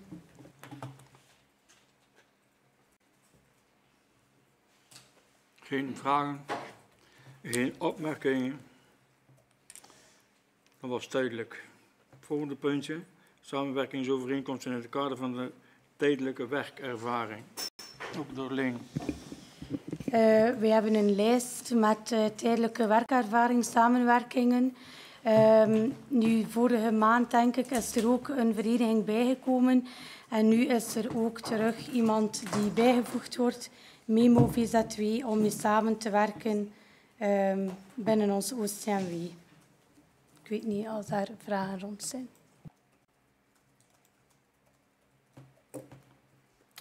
Geen vragen. Het volgende puntje samenwerkingsovereenkomst sociaal kruidenier van Evergem, ook voor Leen. Leen.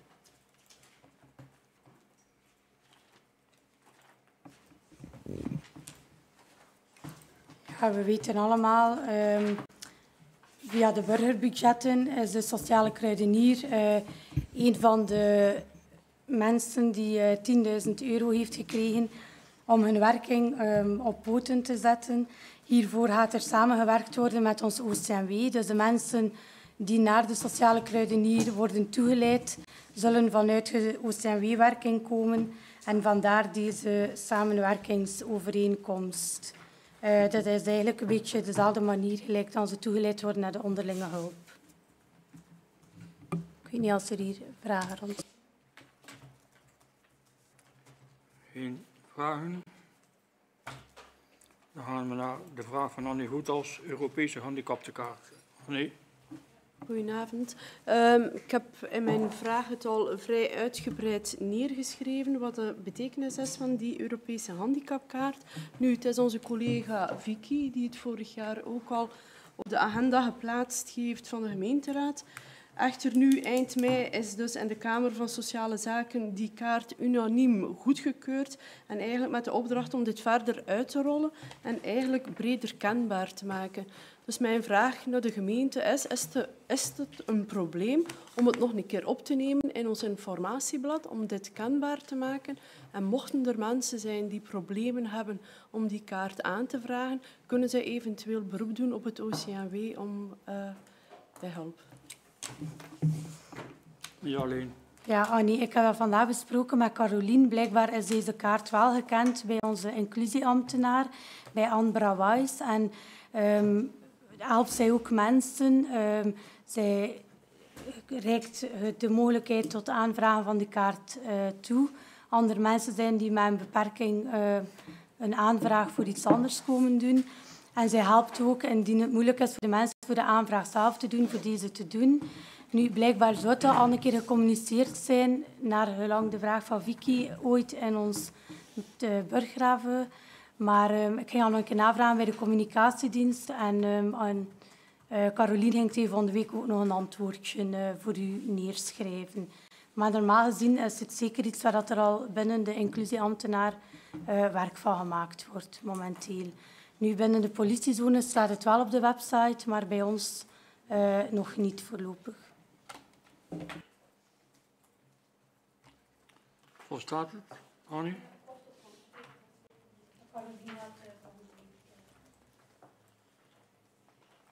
Oké. Okay. Dan gaan we naar de rondvraag.